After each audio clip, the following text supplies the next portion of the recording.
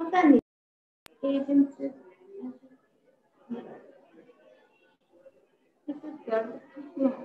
कोई तुमको लगे कि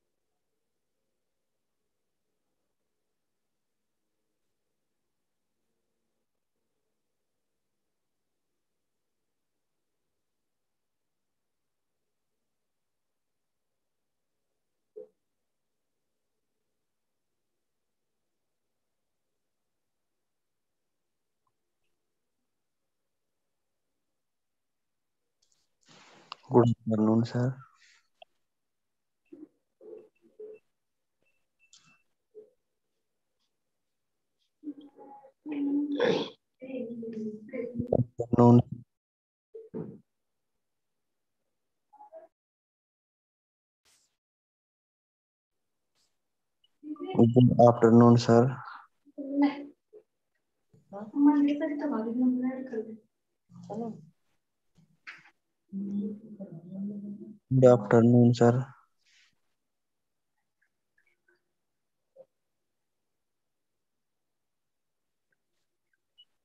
Good afternoon, sir.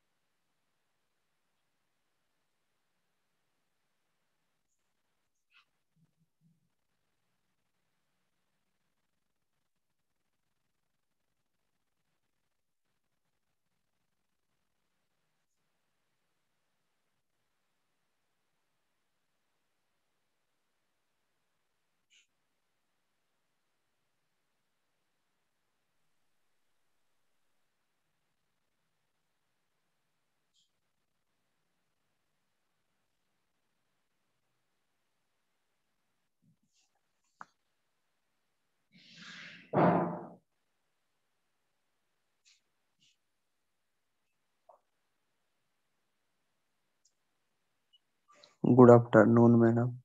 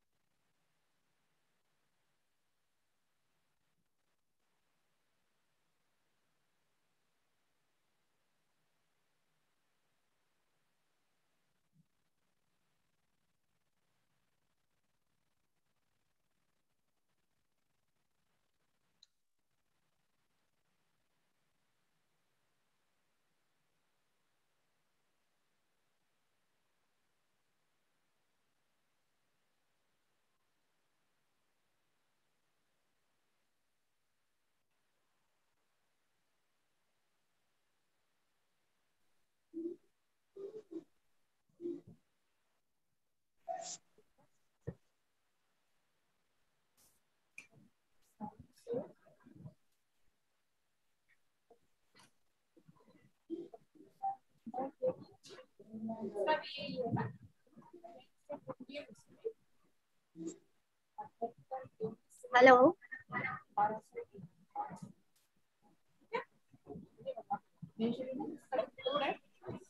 अभी अपना एक घंटा चलेगा ये एक की जगह सवा वॉल्यूम कम करूँ। वॉल्यूम म्यूट पे कर दीजिए आप अपना। Good afternoon ma'am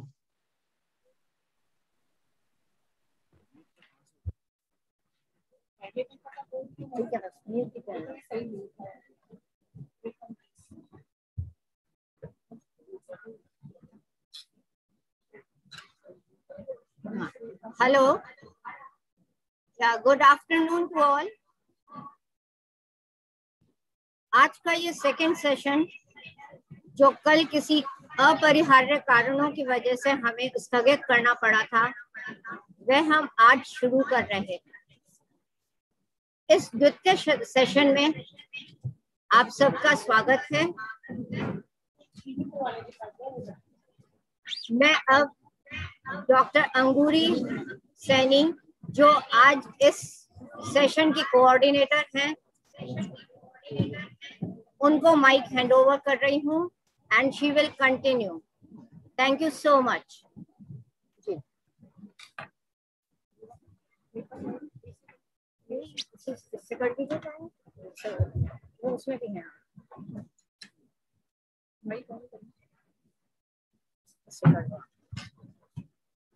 एक तो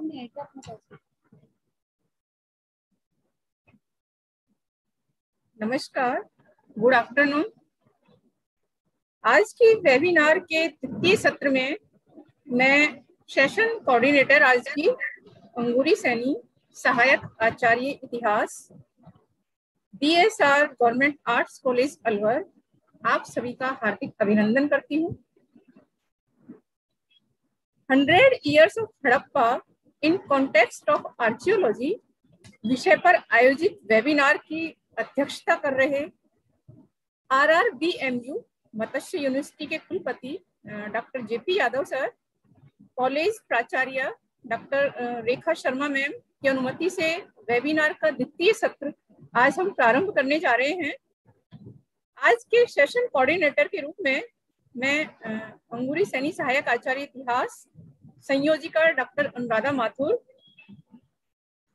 शोध समन्वयक डॉक्टर फूल सिंह सहारिया जी, व इतिहास विभाग के सभी संकाय सदस्यों की ओर से आप सभी का वेबिनार के इस द्वितीय सत्र में स्वागत और हार्दिक अभिनंदन करती हूँ।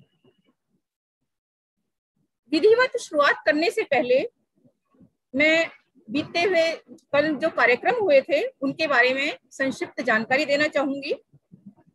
इस वेबिनार के उद्घाटन सत्र में कल जो है इंस्टीट्यूट ऑफ़ आर्कियोलॉजी के संयुक्त निर्देशक डॉक्टर एस के मुंजल ने भारतीय पुरातत्व विभाग की ओर से किए गए उत्खनन पर प्रकाश डाला था। तत्पश्चात विशिष्ट वक्ता के रूप में डॉक्टर आलोक त्रिपाठी आसाम यूनिवर्सिटी सिलचर ने भारतीय सभ्यता एक खोज और शुरुआत विषय पर अपना व्याख्यान दिया था। इसके बाद डॉक्टर जे एस खड़कवाल ने कनवेर, गुजरात में उनके द्वारा किए गए उत्खनन से हमारा परिचय करवाया था। चूँकि वेबिनार का द्वितीय सत्र अपर्याय कारणों से कल स्थगित करना पड़ा था जिसे आज हम कंटिन्यू कर रहे हैं, हम वेबिनार के द्वितीय सत्र की विधिवत शुरुआत करते हैं। आज के इस द्वितीय सत्र में प्रथम व्याख्यान जो है, डॉक्टर प्रवीण सिंह जी का होगा। डॉक्टर प्रवीण सिंह जी के इंट्रोडक्शन के लिए मैं डॉक्टर मीना गौतम मैम, सह आचार्य, हिंदी विभाग BSR government arts college Alwar को आमंत्रित करती हूँ कि वो सर का परिचय करवाएँ। Doctor Meena Gautam ma'am.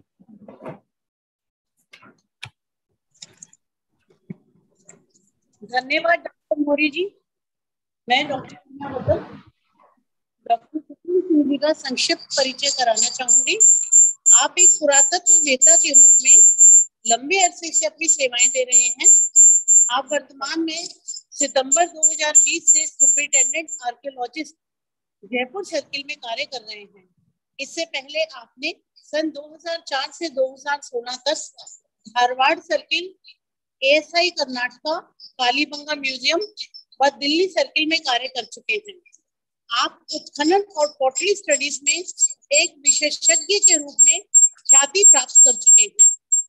आपने राखीगढ़ी सारस्वती भलेवान पंजाब, गिलुन, झांसी गोविशन उत्तराखंड और पट्टड़कल बादामी नगर, राजस्थान आदि में पुरातत्व उत्खनन के कार्य में अपनी एक महत्वपूर्ण भूमिका निभाई है।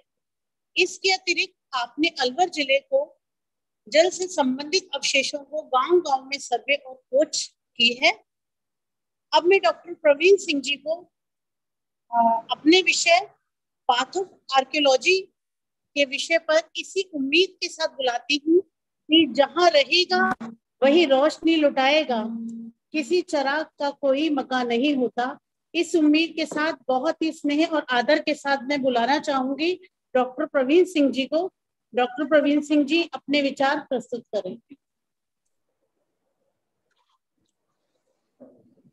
थैंक यू मैम मुझे लगता है मेरी आवाज़ वहाँ तक पहुँच रही होगी। ये सर आ रही है आपकी आवाज़? तो सर्वप्रथम तो मैं आभारी रहूँगा आपके कॉलेज बीएसआर का और जिन्होंने एसआई को इस चीज़ के लिए आमंत्रित किया कि हम लोग एक छोटा सा वेबिनार इस पैनेडेमिक में जो कि एजुकेशन डायरेक्ट नहीं हो पा रही है तो इसके माध्यम से ही कम से कम हम लोग बच्चों को लाभान्वित कर सकें और कुछ scholar excuse me sir ji. Sir your voice is not clear can you speak loudly और do it little louder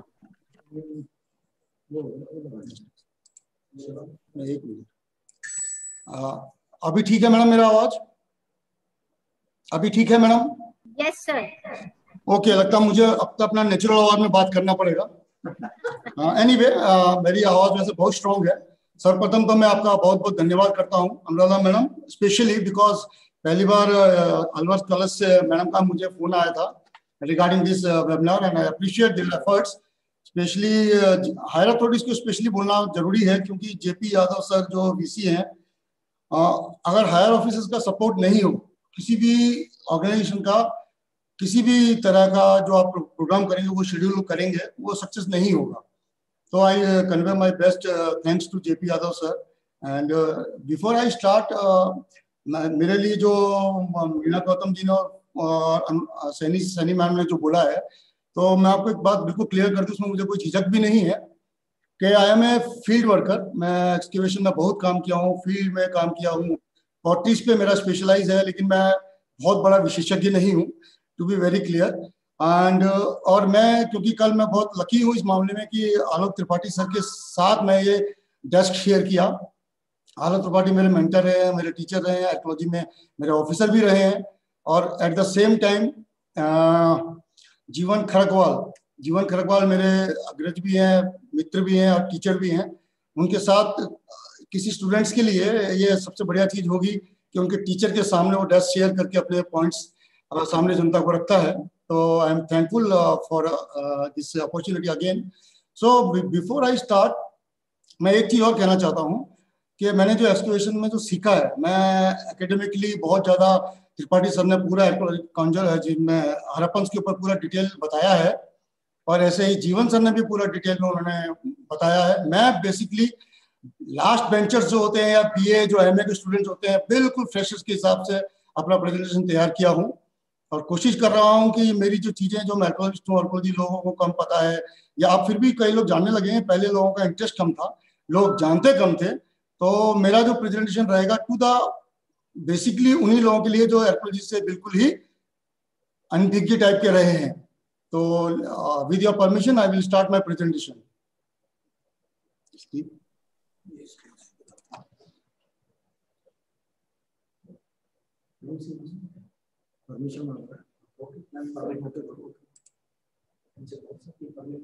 phone करो।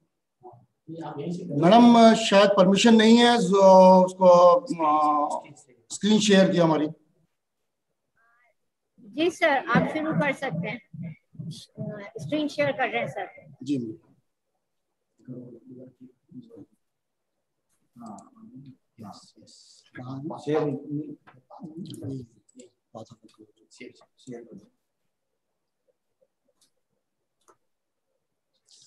आई थिंक अब विजिबल हो रहा है मेरा स्क्रीन जी सर मैडम एज मैंने पहले ही बताया आप लोगों को कि मेरा प्रेजेंटेशन सिंपल बेसिक रहेगा। तो सबसे पहले तो मैं बताना चाहता हूँ कि आर्कोलॉजी मैंने taken this topic path of archaeology तो मेरा मेन उद्देश्य था कि भाई आर्कोलॉजी में आने के लिए क्या करना है पूरा तत्व की सेवा करने के लिए क्या क्या चीज़ें हैं और क्या क्या स्कोप हैं। तो रिगार्डिंग मैं ब्रीफ में करना शुरू करता हूँ इसको।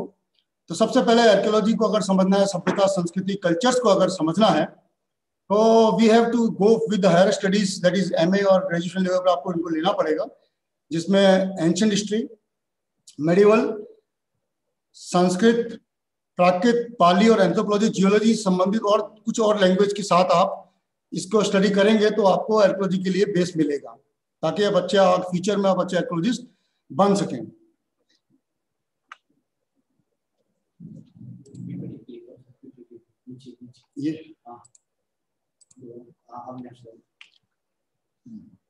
इसी क्रम में मैं आपको बताना चाहूँगा कि इतिहासकार और आर्कोलॉजिस्ट ऐसे लोग हैं कि दोनों के बिना इतिहास अधूरा है।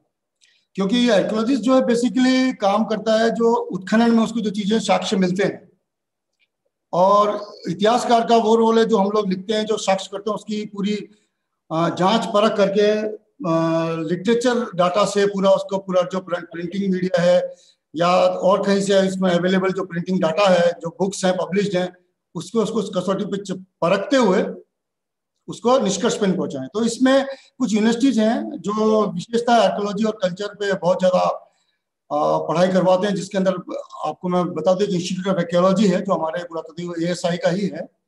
इसके पश्चात Deccan college M S university Jiwaji विश्वविद्यालय विक्रम यूनिवर्सिटी राजस्थान विद्यापीठ उदयपुर लखनऊ और राजस्थान यूनिवर्सिटी में भी एक पेपर के माध्यम से और इसमें एपिग्राफी पहले पढ़ाई जाती थी। अब आज का मुझे शायद इतना ज्ञान नहीं है।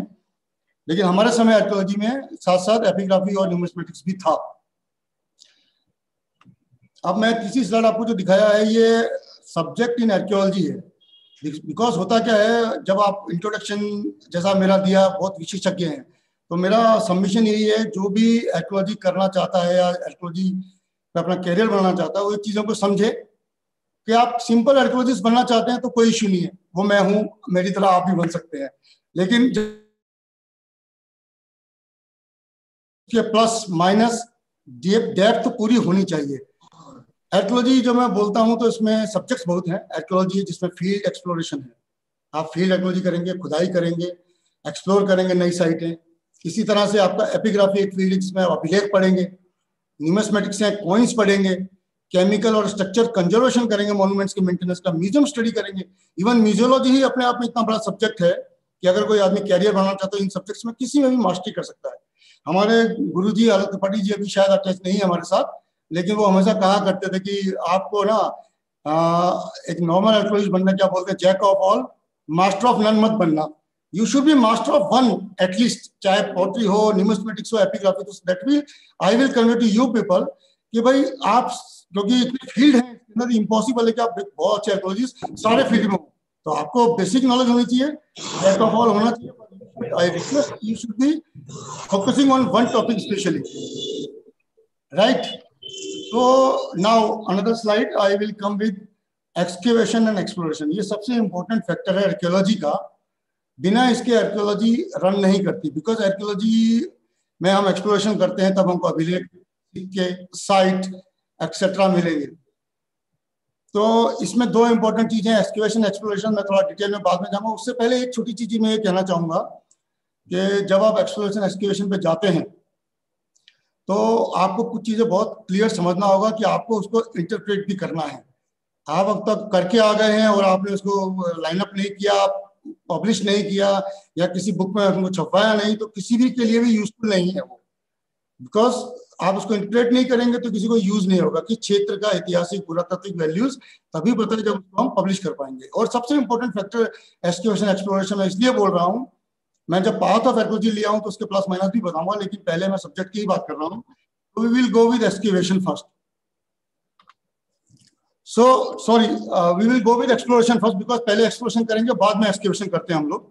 तो जब हम एक्सप्लोरेशन करते हैं तो बेसिकली एक्सप्लोरेशन का सिंपल भाषा में मतलब है खोज करना।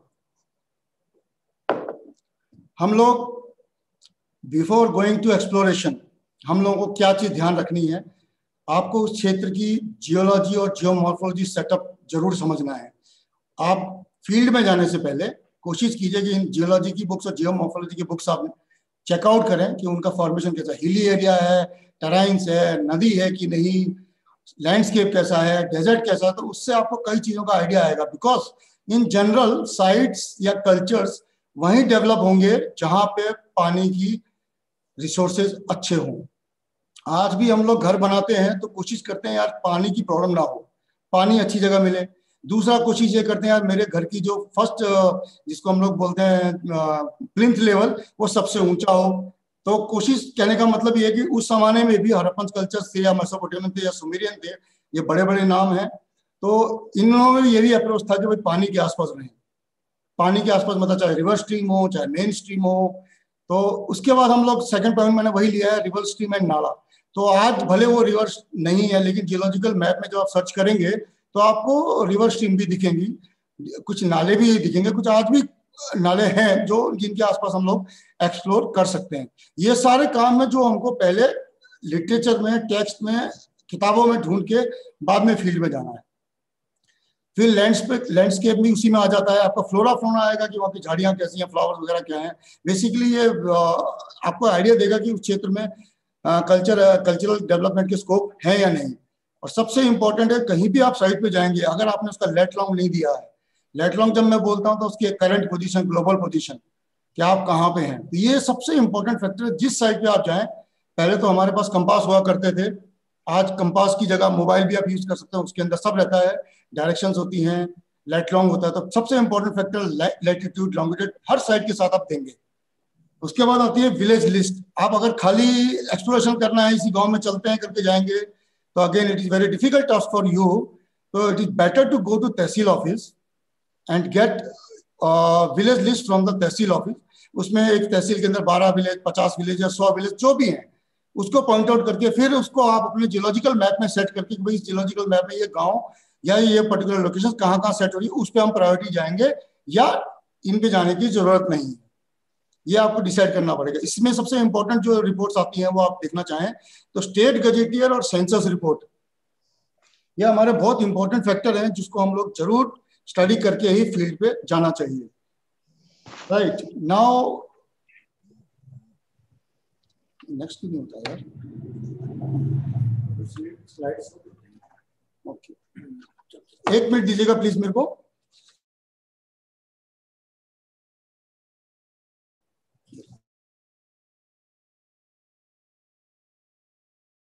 ओके एक इम्पोर्टेंट फैक्टर और है। मुझे नहीं पता कितने लोगों को आपको जो आर्कोलॉजिस्ट करते हैं और जो फ़ील्ड वर्क करते हैं उन, उनको तो ये पता होगा। जीवन सर होते तो मुझे बहुत अच्छा लगता है लेकिन अनफॉर्चुनेटली बात नहीं है। तो toposheet I don't know how many people have heard about this toposheet basically एक नक्शा ही है लेकिन ये डिटेल नक्शा है। ये सर्वे ऑफ़ इंडिया तैयार करता है और जो भी आर्कोलॉजिस्ट फ़ील्ड आर्कोलॉजी करना चाहता है बिना टोपोशीट के करना इम्पॉसिबल है और सजेस्टेड भी नहीं है। बिकॉज़ इसमें आपने लिखा, हम लोगों ने, आप थोड़ा पढ़ पाएँगे इसको। मैं ज़्यादा पढ़ने में बहुत ज़्यादा विश्वास नहीं करता सीधा देखिए स्लाइड और समझिए मेरी बात। समझना ज़्यादा ज़रूरी है in spite of going with this में तीन तरह के मेज़रमेंट के साथ टी शर्ट टोपोशीट्स होती हैं, जो सर्वे ऑफ़ इंडिया तैयार करता है। जिसमें एक सेंटीमीटर के बराबर ढाई किलोमीटर, एक सेंटीमीटर के बराबर 500 मीटर और एक सेंटीमीटर के बराबर 250 सेंटीमीटर 500 और 250 तो जो 250 सेंटीमीटर वाला जो स्केल है, वो टोपोशीट बेस्ट कंसिडर होती है। उस एरिया में जो भी परमानेंट स्ट्रक्चर है परमानेंट चीज़ें हैं, उसको प्लॉट करता है, जहाँ मंदिर है, मस्जिद है, नाले हैं, कुएँ हैं, ये हमको स्टडी में बहुत ज़रूरी है। तो मेरा सबमिशन ये है न्यू जनरेशन को जो ग्रेजुएशन कर रहे हैं, या पीजी कर रहे हैं, या इस कैरियर में एक्टोलॉजी में कैरियर बनाना चाहते हैं तो we should without toposheet is very difficult so in general मैंने आपको एक एक सिंपल एक फ़ोटो दिखाया है कि ये टोपोशीट ऐसे होती है, जिसमें नीला जो दिख रहा है वो आपका पॉइंट्स है रिवर पॉइंट्स हैं। और जब आप थोड़ा लेफ़्ट हैंड साइड में जो इंडेक्स देखेंगे, जिसमें सर्वे ऑफ़ इंडिया लिखा है, उसके नीचे इनके मार्क्स हैं इंडिकेशन हैं, जो कि टोपोशी में रिलेट करती है। कुआँ रोड कोई मॉन्यूमेंट कोई स्मारक, ये ना हर तरह का डिपिक्शन होगा। तो टोपोशीट के बिना चलना ठीक नहीं होगा। अब चूँकि मैं आर्कोलॉजिस्ट हूँ फ़ील्ड आर्कोलॉजिस्ट हूँ तो सबसे इंपॉर्टेंट फैक्टर एक और है आर्कोलॉजिकल एक्सप्लोरेशन के बाद। वो है एथनो आर्कोलॉजी जब मैं एथनो आर्कोलॉजी की बात करता हूँ तो किसी भी सभ्यता संस्कृति का जब भी उदय हुआ था, चाहे आज से दो हज़ार साल पहले, चाहे पाँच हज़ार साल पहले तो उसकी कुछ कंटिन्यूटी जिसको हम टेंजिबल भी बोलते हैं, वो चीज़ें कंटिन्यू करती हैं। तो अगर आपको कल्चर हेरिटेज सभ्यता समझनी है तो पहले आपको एथनो आर्कोलॉजी समझनी होगी। एथनो आर्कोलॉजी में मतलब ये है कि सबसे पहले आपको विलेज टू विलेज जो लाइफ है, वो देखना पड़ेगा। उनकी, क्योंकि किसी भी सभ्यता में पॉटरी होगी, बर्तन होंगे बीड्स होंगे, उनके डेली यूजेबल आइटम्स होंगे, उनके रिचुअल लाइफ है, उनकी सोसाइटी का लाइफ है, उनका आर्किटेक्चर है एवरीथिंग विल कम देयर तो जब आप विलेज में जाएँगे, आज के जो इंटीरियर विलेज हैं you will come to understand अगर आपको वो चीज़ों का ज्ञान नहीं होगा तो अगर आप खुदाई पे जाते हैं या एक्सप्लोरेशन पे जाते हैं, अगर आप किसी चीज़ से स्ट्रक्ट होते हैं, ऐसी चीज़ को तो आप आइडेंटिफाई नहीं कर पाओगे। तो इंटरप्रिटेशन बहुत मुश्किल होगा। तो मेरा कहना है कि जो भी आदमी इस फ़ील्ड में आर्कोलॉजी करना चाहता है आर्कोलॉजी से संबंधित रिसर्च करना चाहता है तो we have to go with ethnoarchaeology इसमें विलेज लाइफ बोल दिया मैंने, एक ब्रिक किल है, कोई भी स्ट्रक्चर कच्ची ईंटें हों, चाहे पक्की ईंटें हों, किसी भी साइट पे बिना इसके कल्चर डेवलपमेंट नहीं होते हैं, बिना इसके सेटलमेंट नहीं होगा तो इसको भी समझना है। अगर मेरे पास टाइम बचा तो मैं आपको ब्रिक क्लिनिक पे भी थोड़ा सा दो चार स्लाइड दिखाऊँगा। फिर पॉटर है, बिना पॉटर को समझे और अंडरस्टैंडिंग होने के होने के अलावा होगी हो नहीं तो आप clay wheel firing firing clean ये सब कैसे करता है, कितनी फायरिंग करता है, कैसे व्हील व्हील पे चाक को बनाता है, बर्तन बनाता है, वो सब चीज़ों का आइडिया आना चाहिए। तो हाउसेज में वेसल स्टोरेज जार अलग तरह के ऑब्जेक्ट्स होते हैं, वो क्या यूज़ करता है? You go to village you just simply observe कि उस गाँव में, उस घर में क्या है?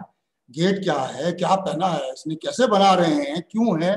क्योंकि ये चीज़ें आपको रिफ्लेक्ट करेगी कल्चर का स्टडी करने में, जब आप एक्सप्लोरेशन कर रहे हैं या एक्सकेवेशन कर रहे हैं, किसी भी साइड पे, चाहे वो चालकोलिथिक हो चाहे वो हरपन्स हो तो उनके रिचुअल लाइफ सोशल लाइफ भी आपको समझने होंगे। आई थिंक मैं मैं बहुत तेज नहीं जा रहा हूँ समझ में आ रहा है लोगों को। Is everything is fine is everything is fine Yes, sir. okay okay thank you. So why i am telling this thing? Because uh, अब मैं वो चीज़ें कुछ दिखाता हूँ क्योंकि मैं बताया हूँ आपको मैं फ़ील्ड आर्कोलॉजिस्ट हूँ तो मैं कई बार जाता हूँ तो मैं गाँव में निगाह मारता रहता हूँ।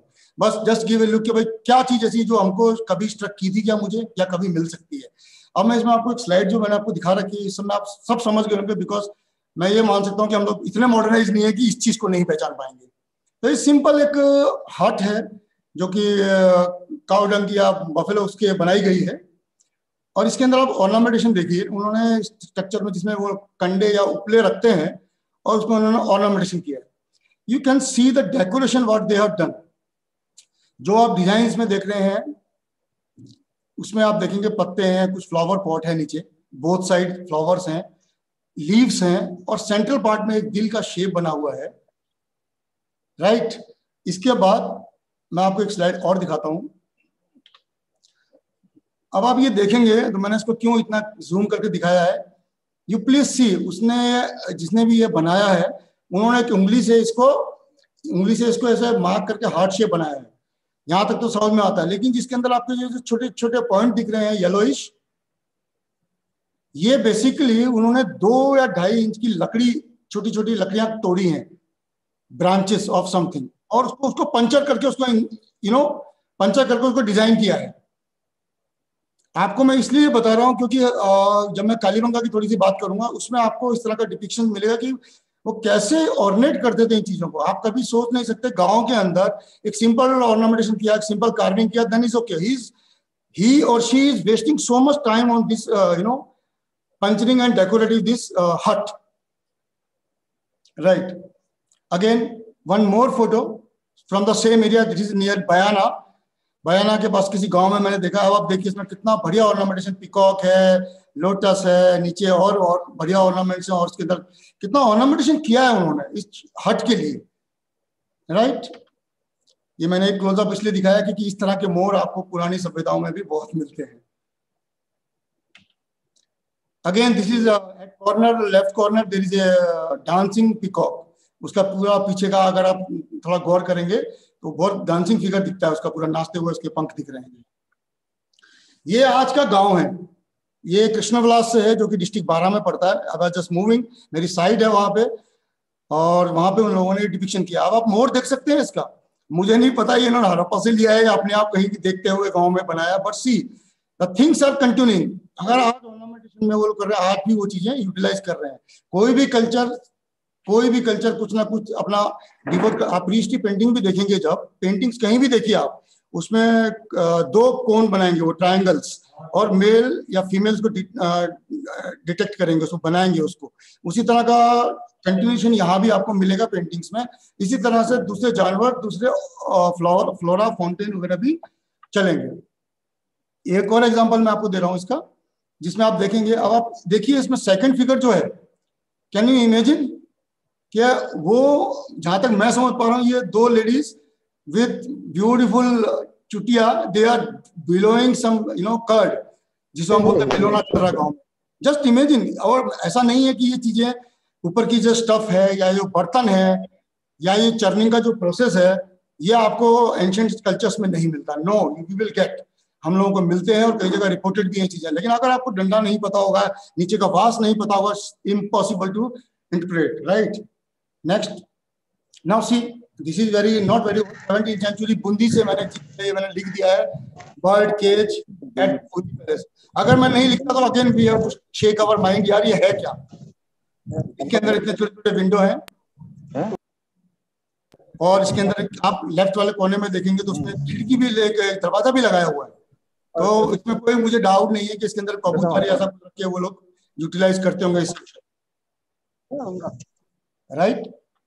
So now see this is one havan kund i have seen somewhere in galtaji इसमें हवन कुंड है उसके साथ में अगर आपको सिंपल सेंटर वाला पार्ट जो टॉप में ब्रिक जो है उसके ऊपर जो एक बर्तन जैसा रखा हुआ है टेराकोटा का अगर आपको उतना ही पार्ट मिलेगा खुदाई में या कहीं तो आप पहचान नहीं पाएँगे इसको। तो यू शुड अंडरस्टैंड कि भाई ये क्या है? इसके अंदर ये है कि हवन में आग जब तेज हो जाती है हवन में जब आग तेज हो जाती है तो it's very difficult to do do that तो आप जो है हवन में जो सामग्री होम करेंगे वो इस पर्टिकुलर छोटा सा पॉट दिख रहा है आपको उसमें डालेंगे। उसके बाद ये आगे कंटिन्यू करेगा। Hello. Next again everyone is knowing क्योंकि मुझे नहीं पता था इसलिए मैंने इसकी ज़रूर लगाया कि मुझे कोई अशेम नहीं है कि भाई मुझे नहीं पता। सो दिस इज़ अगेन मैंने इसको प्रूव भी कर दिया दूसरी स्लाइड में किस लिए यूज़ में आता है। तो अगर आप कभी आपको सिर्फ़ सेंट्रल वाला पार्ट मिले जिसमें ना ये लेफ़्ट वाला पार्ट है ना राइट वाला, और बीच का ये डिप्रेशन वाला पार्ट है तो यू शुड अंडरस्टैंड कि व्हाट कुड बी सभ्यता कल्चर में कभी ऐसा लकड़ी का पीस मिल गया या सेवनटीन सिक्सटीन ट्वेल्थ सेंचुरी में भी मिल गया तो क्या हो सकता है? Right right? एक ये छोटा सा बेल्ट दिख रहा है आपको। अब इसमें प्रिडिक्शन लगाइए आप क्या हो सकता है, लेकिन मैंने इसको प्रिडिक्ट किया है कि शायद ये एक तो दो चीज़ें हो सकती हैं कि पुराने टाइम में नाई की दुकान पे उस्तरा तेज करने की यूज़ में आता हो एक। नंबर दो जो बैल को है बैल को धागा वगैरह लगाएँगे रस्सी तो काट सकता है तो उसके लिए ये शाफ्ट है जो उसको पकड़ के रखता था उसका मुँह।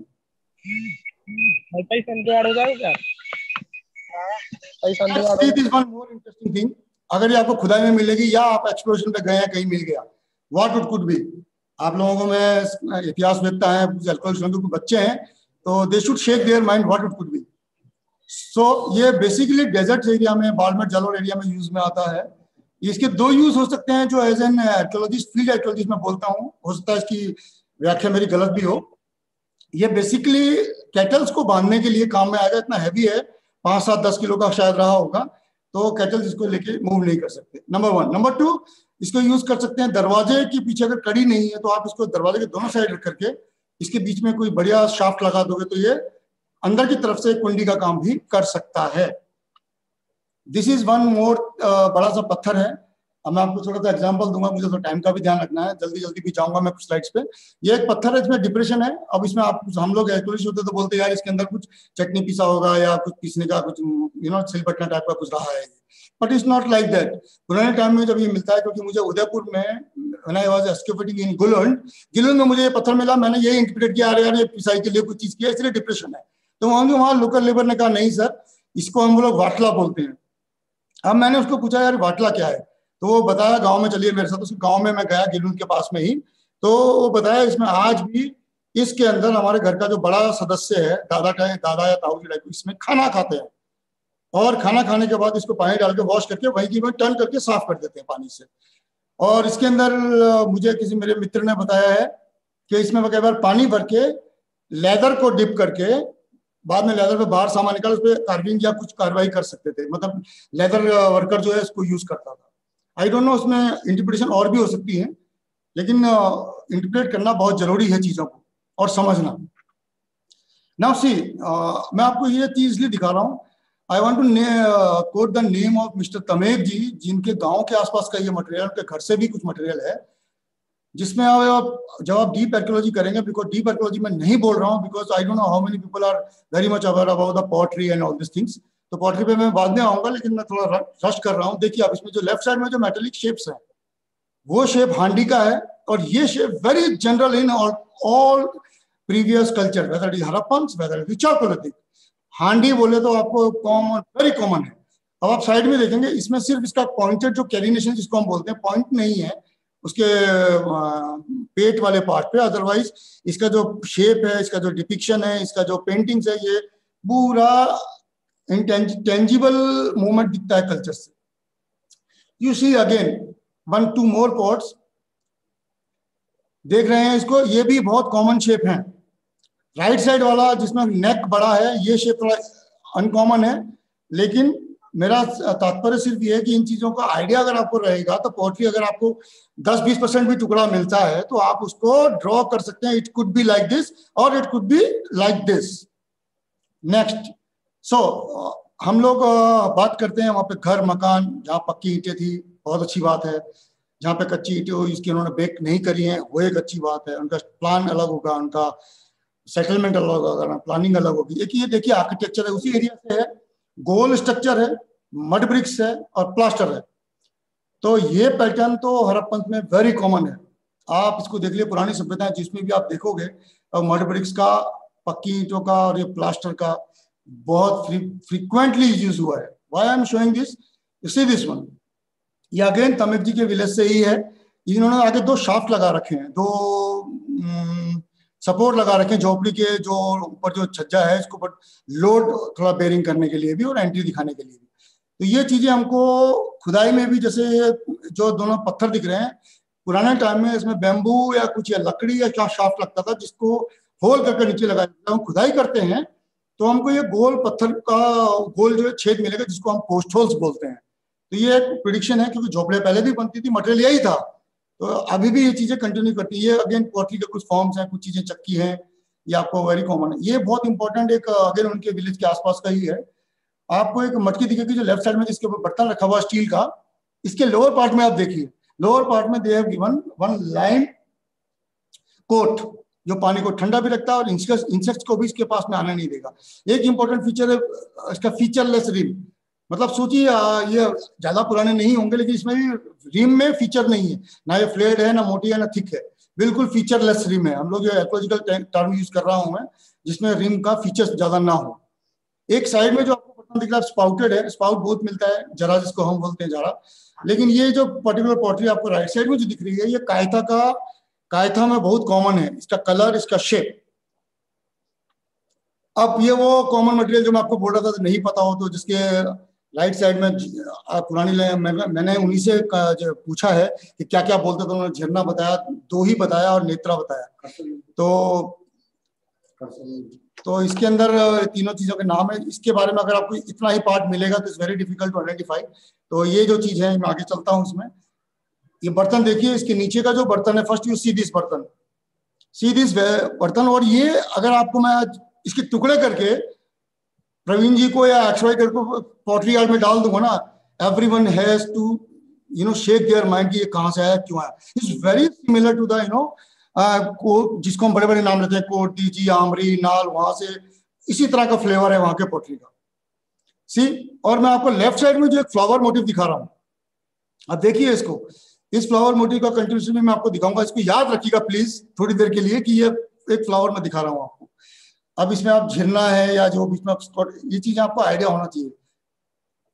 ये लेडी जो हाथ में यू नो चकली जिसको हम बोलते हैं या हम लोग अपने टेक्निकल उसमें इसको बोलते हैं स्प्रिंडल वॉल ऐसे भी घूमती है कात को ये जो है तो इसका कुछ टुकड़ा या हिस्सा मिलेगा तो you should able to know what it could be क्या है, हो सकता है। नहीं पता होगा तो इट्स वेरी डिफ़िकल्ट आप किसी शहरी वाले बच्चे को या अमेरिकन बच्चे को फ़ील्ड में छोड़ दीजिए, हाथ में दे दीजिए कैन नॉट आइडेंटिफाई ये नेक्स्ट टू इम्पॉसिबल और नहीं बता पाएगा because he has not seen so again one pattern to take the bajra from the husk कैसे निकालना है, क्या चलना है, इसको उन्होंने, मैंने तमिक जी से पूछा है नाम तो बता दो, मुझे बोलना है तो कम से कम पता होना चाहिए. तो अनफॉर्चुनेटली मुझे भी नहीं पता था।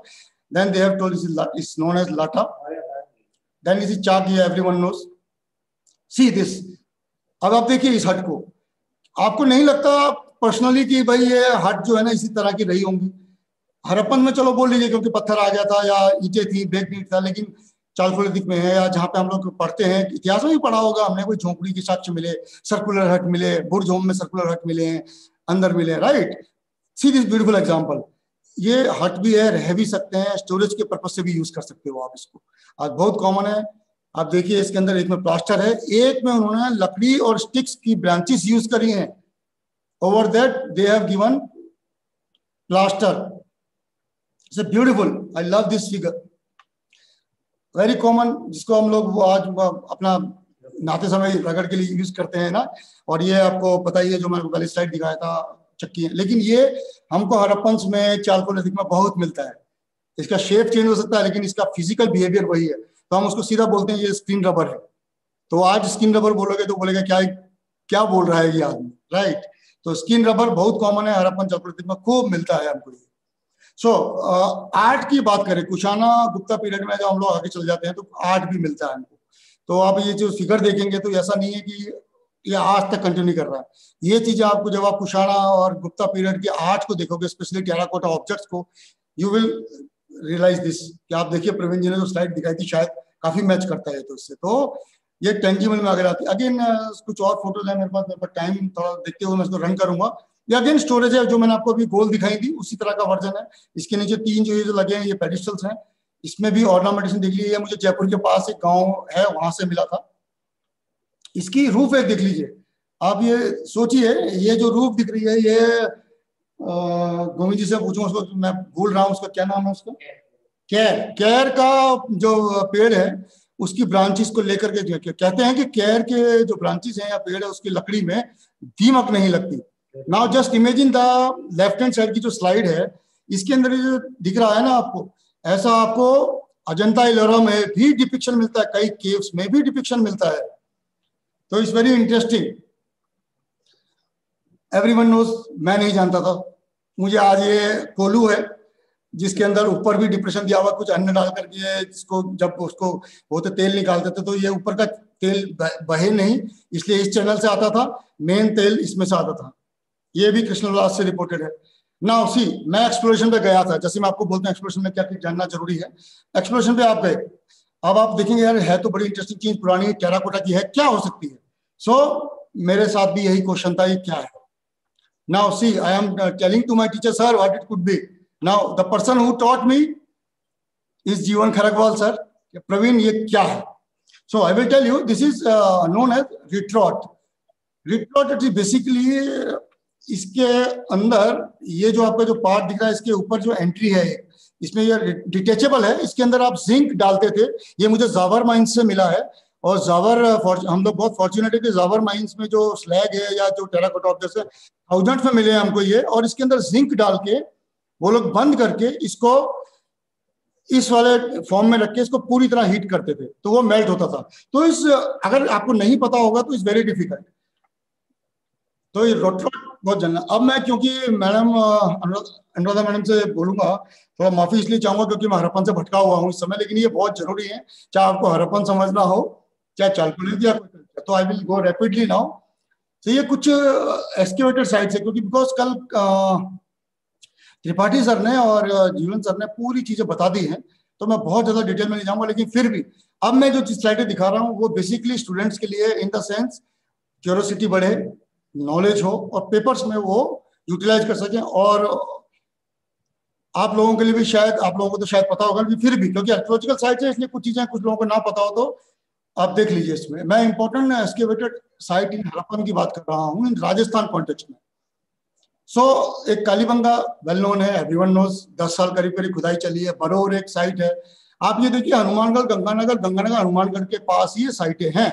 तो ऐसा क्यों है? तो उसका रीजन वही है अगेन मैं आपको पहली स्लाइड डिस्कशन किया था जिसमें जब तक आप ये नहीं बताओगे नदी के पास वाला सिस्टम तो ये देख लीजिए आप एक मैं बहुत जनरल मैप दे रहा हूँ आपको स्टूडेंट्स के लिए कि basically they should understand what is the extend of Harappan east में सबसे लास्ट साइड जो हमको रिपोर्ट होती है, जो non reported side everyone agree with that that is Alamgirpur Alamgirpur in east extreme west में आएगा सुक्ता जेंडोर, अफ़गानिस्तान में सुक्ता Dor. Similarly Manda on top and Daima was on bottom तो वेन से हरप्पन सिविलाइजेशन का एक्सटेंड क्या है? तो सिंपली बोलिए आप, आलमगीरपुर, सुक्का के जेंडोर ऊपर मांडा, नीचे दायमाबाद राइट सो वन बिना रिवर स्ट्रीम्स के मैंने वही शो करने की कोशिश की है कि अब हम हम राजस्थान के अपर पार्ट में है। हरियाणा, पंजाब को टच करता हुआ एरिया है ये। तो इसमें आप देखेंगे, सरस्वती जिसको हमने लिखा हुआ है नीले कलर में, उसके आगे बरोर, कालीबंगा, सोटी, सिसवाल जो कल्चर्स हैं। राखी गढ़ी तक हरियाणा में है राखी गढ़ी। तो ये आप देखिए कि जो मैक्सिमम बेल्ट ऑफ़ है ये स्ट्रीम्स पे या उस पे है। ये सिर्फ़ नॉलेज के लिए मैं बता रहा हूँ कि एक्सप्लोरेशन के समय आपको इनसे स्टडी करना ज़रूरी क्यों है। सो so, अगेन जब हम हरप्पन की बात करें तो हरप्पन का रिवर्स स्ट्रीम को समझने के लिए हकरा क्या है घग्गर क्या है मैं इनमें नहीं जाऊँगा because again deep archaeological subjects हो जाएँगे। तो समझने की दृष्टि से मेरा कहने का मतलब ये है कि रिवर का फ्लो जियोलॉजी मॉर्फोलॉजी समझना साइट का बहुत ज़रूरी है तभी साइट्स नहीं कोई भी पूछ सकता है हरपन साइट यहीं क्यों डेवलप हुए? उसका रीजन ये मैप है। सी एक चीज़ मैं आलोचना होते तो बहुत खुश होते, मैं ज़रूर बोलता हूँ, क्योंकि सर हम हरप्पन की बात करते हैं, हरप्पन ही करते हैं। लेकिन आप हरप्पन की जब आप बात करते हो तो आप चालकोलितिक से अलग नहीं हो सकते। बिकॉज़ ये वो कल्चर है जो हो सकता है पर्टिकुलर लोकेशन में ही हो। जैसे सेंट्रल महाराष्ट्र में, या साउथ राजस्थान में, या आपके गणेश्वर जोधपुर में भी कुछ एविडेंसेस मिले हमको। ये रीजनल वेरिएशन हो सकता है। ये हरपन नहीं है। एग्रीड हरपन का मटेरियल कल्चर कुछ दस बीस परसेंट मैच करे तो बहुत बड़ी बात है। लेकिन कल्चर तो है। तो why hundred years of Harappan only why not chalcolithic so these are the important side which are excavated in chalcolithic culture in Rajasthan again my dear student and this is totally for you not for your teachers right so please look at this Ahar Gilund Balathal Ojiyana Ganeshwar and Maharashtra की खेड़ी are the excavated site. And why they are famous? Ahar is very famous for black coat के ऊपर आपको white painting मिलेगा। गिलुन में आपको structure made of one brick किसी भी चालकुलितिक साइट पे अगर आपको कभी क्वेश्चन मिलता है कंपटीशन में, पक्की ईंटों का प्रयोग ताम्रपाषाणिक संस्कृति में कहा है? तो that is the only Gilund जहाँ पर पक्की ईंटें चालकुलितिक में है। राइट नेक्स्ट इज़ बालाथल इसकी मैं तुम्हें एक ग्रीनरी ग्रीनरी बहुत फ़ेमस है, वो दिखाऊँगा। ओजियाना अगेन बहुत अच्छी साइट है, उसकी कुछ स्लाइड में आपको दिखाता हूँ। मैं I will rush to next side so ये जैसे मैं जियोलॉजी मोफोलॉजी की बात कर रहा था you see one green line is there so this is clearly indicating the division by Aravalli ये अरावली का जो ईस्टर्न साइड है और वेस्टर्न साइड में, आप खुद ही इतिहास लेता है और इतिहास में पढ़ाते हैं, बच्चों को देखिए, बच्चों को भी पता होना चाहिए। कि अरावली ने इंपॉर्टेंट रोल प्ले किया है कल्चर डेवलपमेंट में। जो भी सभ्यता, आपको बड़ी सभ्यताएँ हैं, वो ईस्टर्न साइड में वेस्टर्न साइड में स्कोप कम है। ये अगेन आर कल्चर पे मैं आ गया हूँ साउथ राजस्थान की तरफ़ और गुजरात की तरफ़ थोड़ा सा, ये दिखाने के लिए कौन कौन से रिवर लूनी है बनास है, इसके आसपास स्ट्रीम्स में, ये कल्चर डेवलप हुई है।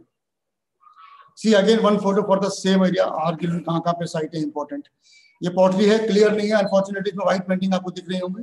ये ब्लैक एंड रेड वेयर एक पॉटरी का टर्म होता है ब्लैक एंड रेड वेयर जो हम चालकुलितिक पे लेके जाते हैं। एक होता है ब्लैक ऑन रेड जब हम ब्लैक ऑन रेड बोलेंगे तो हम चलेंगे with Harappan and other people जब हम ब्लैक ऑन रेड बोलते हैं तो वो चालकुलितिक पे डिनोट करता है, जिसके अंदर इसको टेक्निक होती है, जिसके अंदर पॉटरी को उल्टे रख करके फायरिंग को इस तरह की जाती है कि इसका कुछ हिस्सा फायरिंग आगे गले के बाहर तक रिम के बाहर तक काला और लाल करता है। अंदर से रहेगा काला भी और लाल।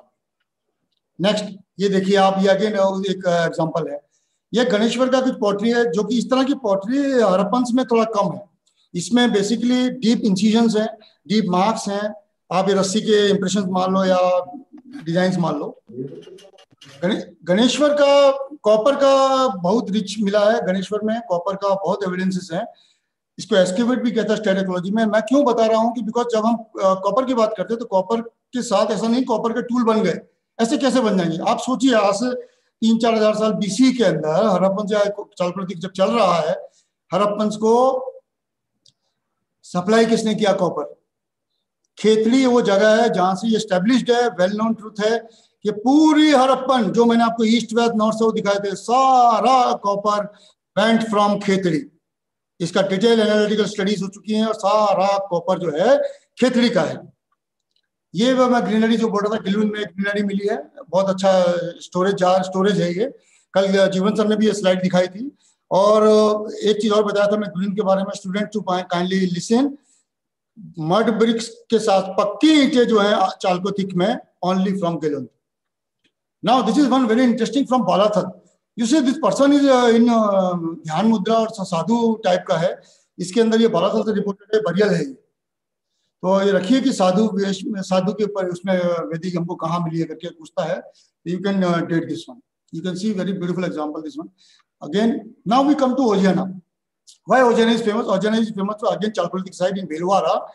It is famous for uh, white painted bull. White painted bull हमको किसी हरप्पन चालकोलिथिक में नहीं है। व्हाइट पेंटिंग बुल्स कभी कोई पूछता है तो यू शुड नो इसमें आप जो फ़र्स्ट में तीसरी जो स्लाइड दिख रही है इसमें इनके थन दिख रहे हैं। तो एक्सकेवेटर्स ने आलोक सर इसमें एक्सकेवेट किए थे। I think he was co director in that one and he has right written this report तो उसमें ये जो थन दिख रहे हैं, उन्होंने इसको डिनोट किया है काउ काउ ये ब्लैक एंड रेड वेयर का जो मैंने आपको बताया, दो स्पेसिमन है बहुत सुंदर, आप देख लीजिए। ये धौलावीरा है। आप इसमें देख लीजिए, कल बात भी हुई थी साइनेज है। धौलावीरा की स्क्रिप्ट पढ़ी नहीं गई है। तो उसके लिए कुछ कल एक किसी सीनियर सीनियर पर्सन ने बताया था कि done some work over this book and they have put publish one book so ये देख लीजिए ओरिजिनल है और इसका प्रोबेबली ऐसा यूज़ रहता हो मे बी इज़ वेलकम और समथिंग लाइक दैट ऑर्नामेंटेशन देख लीजिए इसका घरों पे। एक और इम्पोर्टेंट है मैन साइज़ ड्रेन जब धोलावीरा की बात करेंगे साइनेज हो गया ड्रेन हो गया आप इसमें ड्रेन देखिए, इसमें आदमी चल सकता है।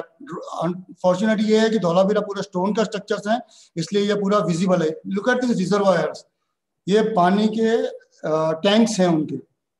देखिए, उस जमाने में पानी का टैंक था। तो अभी एक एग्जांपल मैं आपको राखी राखीगढ़ी से दे रहा हूँ क्योंकि मैंने राखीगढ़ी में पहली बार एज एन आर्कोलॉजिस्ट काम किया था। राखीगढ़ी में ये स्कल्पचर ये स्केलेटन है, जिसको हम लोगों ने एक्सकेवेट किया था। और आज ये नेशनल म्यूज़ियम में आर जी आर सिक्स जब मैं आर जी आर बोलता हूँ तीन वर्ड का यूज़ करता हूँ। आर जी आर मीन्स किसी भी साइट पे अगर आप काम करते हैं तो धौलावीरा तो डी एल आर होगा या डी एच होगा धलेवा डी एल डब्ल्यू तीन वर्ड का मतलब है इनिशियल वर्ड लास्ट वर्ड और बीच वाला वर्ड इसके नाम से हम साइट को रिपोर्ट करते हैं। अब इसमें लोथल, एक साइट है वेल नोन है डॉकयार्ड है वहाँ पे। एक लोथल में एक important urgent for student and the person might not be knowing कि युग्म, एक ज्वाइंट बरियल कहाँ से रिपोर्टेड है? तो state of joint burial Lothal से and as well as Kalibanga से रिपोर्टेड है अब ये साइड में जो आपको मैं आपको बता रहा था कि कुछ चीज़ें होती हैं तो उसमें देखिए कुछ पेंटिंग होती इसमें ये बहुत फ़ेमस पॉट है जिसके अंदर थर्स्टी क्रो का डिपिक्शन है। थर्स्टी क्रो मैं आपको अभी थोड़ी देर पहले स्लाइड दिखाया था तमिक जी के गाँव की, जिसमें ये एक हट थी सर्कुलर नाउ इसी इसी दलेमा एक साइट है पंजाब में। हम लोग खुदाई कर रहे थे, आप सोच लीजिए अगर हमें एक डिग और लगा लेते, इसमें एक इंच की खुदाई और कर लेते तो इसके अंदर हमारा ये जो आपको छेद दिख रहे हैं, ये दो या ढाई तीन इंची का और गहराई है इसकी एक इंच। अगर एक डिग और लगाता तो ये एविडेंस हमारे पास चला जाता है कि इस घर के अंदर ये हट भी है। Now see this is maybe conjectural this is from Dhaleva left side में, और राइट साइड में ये कुछ कुछ ऐसा रहा होगा, या वैसा रहा होगा जो दो हमने दो हट देखी थी, गोल। Okay so so madam, i will take only 5 minutes. Now i will rush. So this is, you have slide of binjor msr again the मैंने आपको रिक्वेस्ट किया था कि पेंटिंग देखिएगा, उस पेंटिंग का डिपिक्शन देखिए बिंजोर से है। बिंजोर में एमएसआर जो मैंने बोला फ्लावर ध्यान रखिएगा, देखिए मोटिव्स ये कुछ इंपॉर्टेंट है अगेन बिंजोर से। ये सेल्ट है महाराज की केड़ी जो कॉपर ऑब्जेक्ट्स है। ये कालीबंगा है। कालीबंगा का मैं थोड़ा पाँच मिनट में ब्रीफ कर दूँगा। कालीबंगा में दो माउंट बहुत क्लियर है, तीन माउंट है बेसिकली लेकिन अभी जो विजिबल है वो दो माउंट क्लियर तीसरा माउंट खत्म हो चुका है। लोकेशन टू जो है वो मेच्योर है लोकेशन वन जो है वो अर्ली हरपन्स का है। कोने में जो आपको दिख रहा है के एल बी एट लिखा हुआ ये जो है इनका बरियल माउंट है। So I won't go with Kalibanga के सब जगह पब्लिकेशन है, ये फैब्रिकेशन हो रखा है पॉटरी का। मैंने जैसा आपको बताया कि कुछ करना है तो स्पेशलिस्ट बनना है। तो बीके थापर जी थे जिन्होंने कालीबंगा में ए से लेके एफ़ पॉटरी को डिराइव किया है और ये बताया है कि अब हरपन में जब काम होगा या हरपन साइड पे ये चीज़ें आपको मिलनी चाहिए। बाइक्रोम है डबल कलर की, कल बताया था जीवन सर ने ये फैब्रिकेशन भी है रस्टिकेटेड रस्टिकेटेड मतलब एक लेप लगा देना कुकिंग वेसल्स पे काम आता था ये, जिसमें काला ना हो पड़ता नीचे से। ये इंसिजन है कुछ, जो डेकोरेशन है। ये फैब्रिक्स में ये चार साइड में मिलता है। ये कुछ पेंटिंग मोटिव्स है।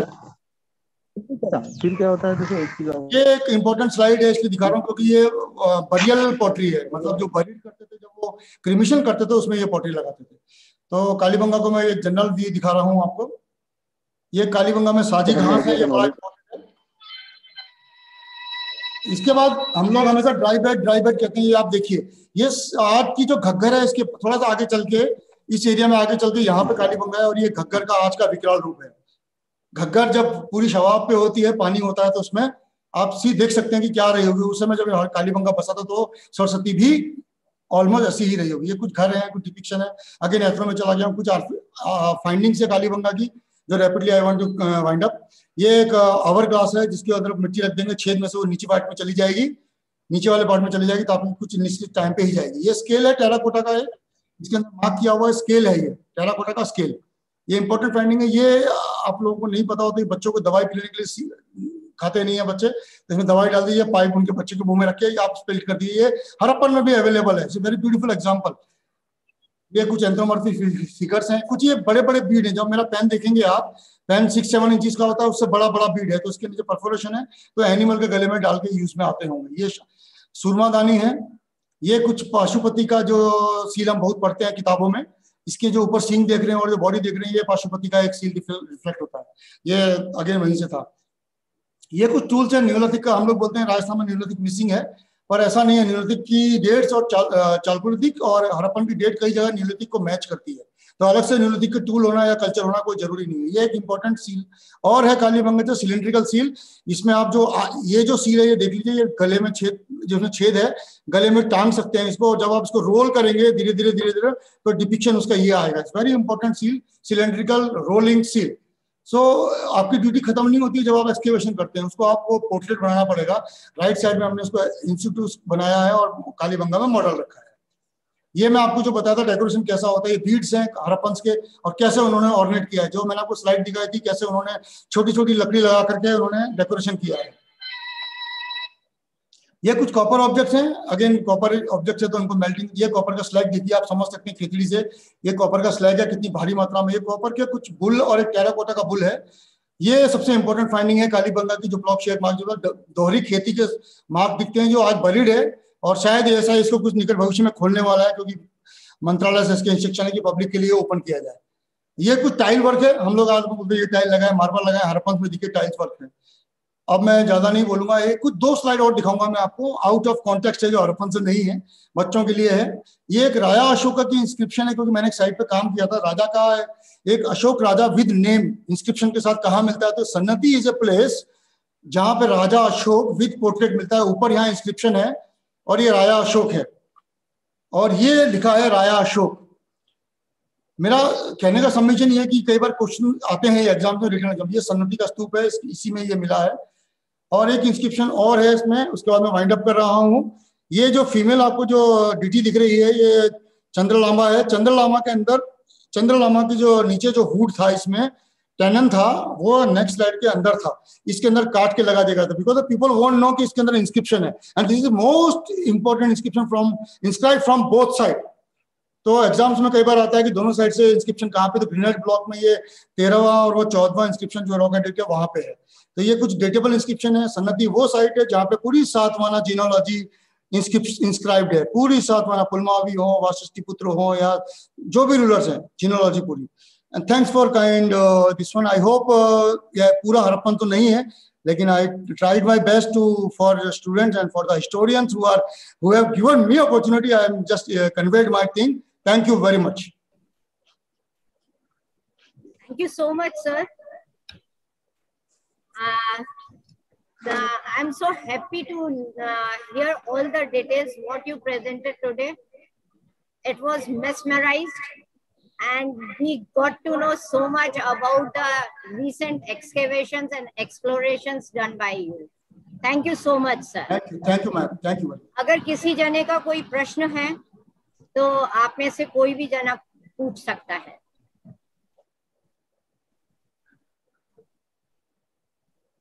इससे जुड़े हुए लोगों से मैं रिक्वेस्ट कर रही हूँ कि अगर वे कुछ क्वेश्चन पूछना चाहे तो पूछ सकते हैं मैं इसमें सबमिशन है मैडम हो सकता है कई मैं मैं एक क्वेरी पूछ सकती हूँ? Please please ma'am please ma'am please मेरा ये पूछना है कि how do you recognise a site when you go for digging और exploration no madam how do you come to know about the site that there is something madam when we do exploration that's what I told first important thing is exploration तो when rainy season comes rainy season के बाद में कुछ चीज़ें पानी पानी के कटाव होते हैं टीलों पे या खेतों में और कुछ रिमेन्स ऊपर दिखते हैं पॉटरीज हैं एंटीक्विटीज हैं, कुछ संभावना होती है। तो बारिश जब खत्म होता है तो हम एक्सप्लोरेशन एक्सक्यूशन करते हैं। नॉर्मली सर्दियों में करते हैं। दिसंबर से लेके मार्च तक बेस्ट टाइम कंसीडर करते हैं हम लोग। तो हम लोग, मैंने आपको बताया, पाँच सात चीज़ें बताई। टोपो शीट लेता हूँ, मैं सर्वे करता हूँ, मैं पुराने लिटरेचर देखता हूँ सेंसस रिपोर्ट गजेटेड देखता हूँ कि वहाँ पे क्या भी कुछ पब्लिश हुआ है क्या। Then I will go to tehsil office गाँव के लिस्ट निकालता हूँ मोटरसाइकिल लेता हूँ या बैलगाड़ी या आदमी से पूछते, बुज़ुर्गों से पूछते पाछते वहाँ जाते हैं। और हमारे गोविंद सिंह जी ने भी अलवर में बहुत काम किया है, लेकिन अभी हम लोग ने भी किया उनके साथ साथ लेकिन अनफॉर्चुनेटली ये है कि अभी मेरे टाइम कमाने का अलवर को मैं ज़रूर दिखाता। लेकिन मुझे आप मौका दीजिएगा या गोविंद जी को, वो अलवर का प्रेजेंटेशन है, वो आपके स्टूडेंट्स को ज़रूर बेनिफिट करेंगे। और उसके बाद हम टीले पे जब जाते हैं तो हमको चीज़ें मिलती हैं फिजिकली तब वो हर साइड पे खुदाई नहीं होती है मैम उसकी पोटेंशियल देखते हुए कि क्या पॉसिबिलिटीज हैं तो फिर डायरेक्टर परमिशन हर एक्सक्यूशन की परमिशन दिल्ली जाती है प्रपोजल बनता है, वहाँ से परमिशन अप्रूव होती है। Accordingly you get permission for excavate you excavate and submit report that is the most important thing thank you ma'am sir vegetation क्या कोई रोल प्ले करती है? वेजिटेशन के अकॉर्डिंग क्या आप साइट को पहचान सकते हैं। मैडम जहाँ साइट होगी वहाँ वेजिटेशन पहले तो बहुत कम होगी। पहले वहाँ ग्रासिंग ज़्यादा होगी। बहुत ऐसा नहीं है कि हरप्पन में जैसे किसी भी टीले पे जाएँगे ना आप तो अभी भी देखिए बहुत ज़्यादा थिक वेजिटेशन मिलेगा नहीं। बिकॉज़ नीचे स्ट्रक्चर है या ऐसी कुछ चीज़ें हैं तो वो उसको पनपने में थोड़ा सा हर्डल्स पे करती है। अगर पक्की ईटे है वो है तो कहाँ इतना हेबिटेशन थिक हेबिटेशन नहीं हो पाएगा उसमें। सॉरी वेजिटेशन सॉरी वेजिटेशन नहीं हो पाएगा उसमें। तो आप गूगल इमेजरी भी जब देखेंगे ना तो आपको उस, उस पर्टिकुलर पॉकेट में जहाँ बड़े बड़े एग्रीशन होंगे और राखी गढ़ी गूगल पे देखिएगा राखी गढ़ी टाइप करके माउंट तो आपको बहुत क्लियर विजन मिलेगा वेजिटेशन का मिलेगा। और मेरा नंबर शेयर कीजिएगा मैडम स्टूडेंट्स को please I will love to because कई बार मैं स्टूडेंट रहता तो मैं भी हेजिटेट होता था क्वेश्चन पूछने में। You give my number to them and give any query you can contact me any time I am always available for students thank you thank you so much sir बहुत ही informative बहुत ही बढ़िया आपका मेरे को ये डेलीब्रेशन लगा thank you so thank you thank you ma'am thank you sir आपका व्याख्यान पथ ऑफ़ आर्कियोलॉजी पर बहुत बहुत ज्ञानवर्धक रहा और हमारे लिए बहुत ही उपयोगी सिद्ध होगा। आपने विभिन्न स्लाइड्स के माध्यम से हमें जो विविध पहलू हैं आर्कियोलॉजी के उनसे परिचय कराया। अब मैं इस कार्यक्रम को आगे बढ़ाते हुए आज की वेबिनार के द्वितीय वक्ता के रूप में डॉक्टर मदन लाल मीणा जी का आप सभी से परिचय कराना चाहूँगी। आप राजकीय महाविद्यालय सीकर में सह आचार्य के रूप में पदस्थापित हैं। पाटन में पदस्थापित हैं।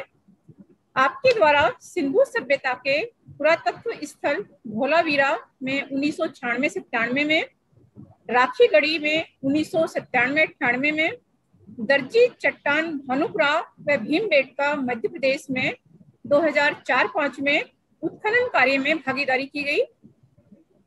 आपके द्वारा राजस्थान में सीकर, झुंझुनू, चूरू, जयपुर, भरतपुर, अलवर, भीलवाड़ा करौली दौसा, चित्तौड़, सिरोही बारह बूंदी और कोटा में सर्वेक्षण कार्य किया गया है। 2009 में आपने इंदिरा गांधी राष्ट्रीय कला केंद्र नई दिल्ली के तत्वाधान में राजस्थान के पुरातात्विक स्थलों, कोटा, बूंदी व भीलवाड़ा क्षेत्र के शैल चित्रों पर एक मेजर रिसर्च प्रोजेक्ट में राजस्थान का प्रतिनिधित्व किया है। आपकी जनवरी 2020 में शेखावाटी क्षेत्र का प्रागैतिहासिक एवं आद्य ऐतिहासिक पुरातत्व विषय पर पुस्तक प्रकाशित हुई है।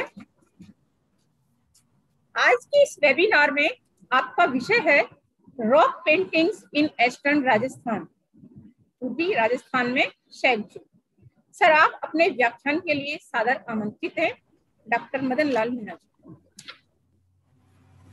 हेलो, नमस्ते मैम। हेलो, मेरी आवाज़ आ रही है ना? हेलो सर आ रही है सर प्लीज़ कह आ रही है ना? जी सर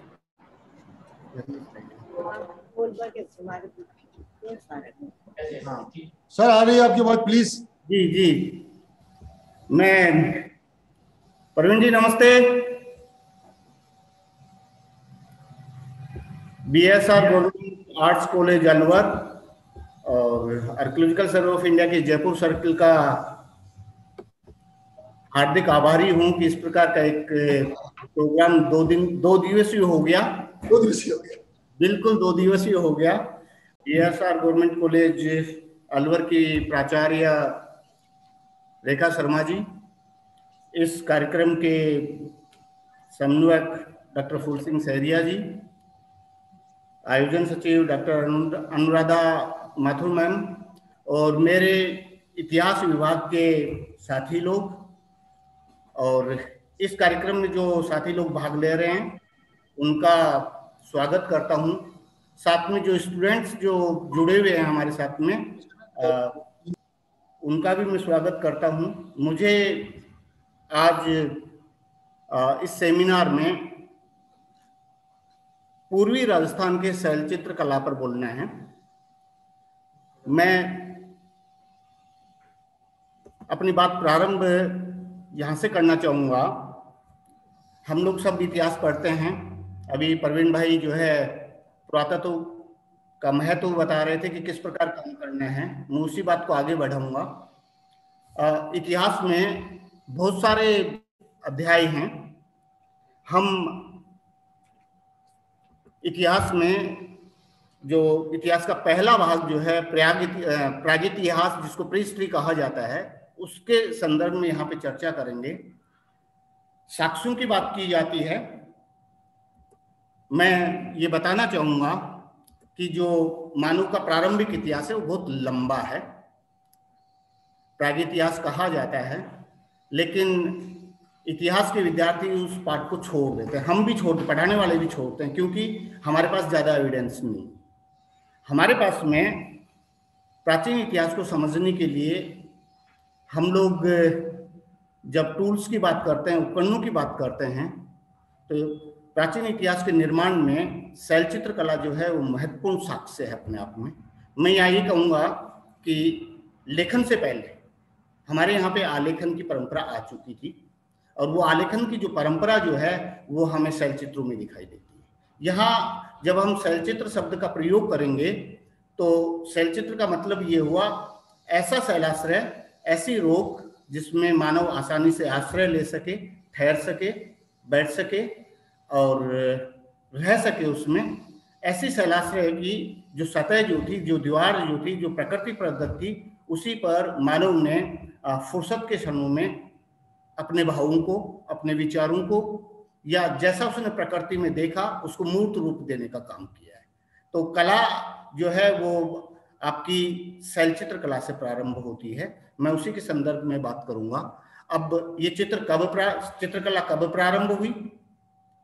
उसके एविडेंस हमें क्या मिलते हैं? ये हम आज कुछ पुरास्थलों को देखेंगे, जो हमने अभी तक इस एरिया में चिन्हित किए हैं।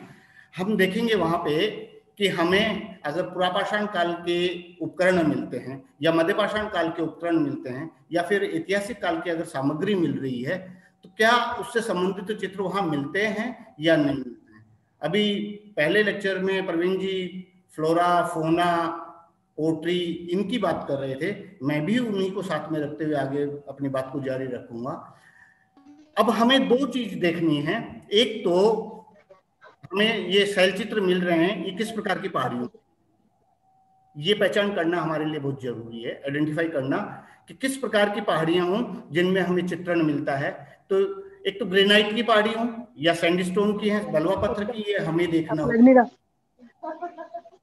उनमें कोई लाइनिंग मिलती है आपको या नहीं मिलती है? अगर लाइनिंग मिलती है तो किस प्रकार की लाइनिंग मिलती है? किस प्रकार का चित्रण मिलता है? उसकी विषय वस्तु को हमें देखना होगा।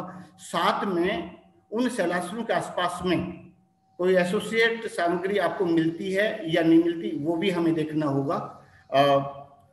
आप देखेंगे कि जो प्रारंभिक मानव है वो या तो पहाड़ी में है या पहाड़ी की तलेटी में है सीधी सी बात है कि जहाँ उसकी आवश्यकताओं की पूर्ति हो रही है विशेषकर पानी भराव का जो क्षेत्र है वो झील हो सकती है तालाब हो सकता है नदी नाले हो सकते हैं उनके इर्द गिर्द वो मानव आपको दिखाई देगा। आ, तो हम ऐसे स्थानों को शैलकला पुरास्थल कहते हैं और उन चट्टानों पर जो चित्रण मिलता है उसको शैलचित्र कला कहा जाता है। यार टाइम खाएगा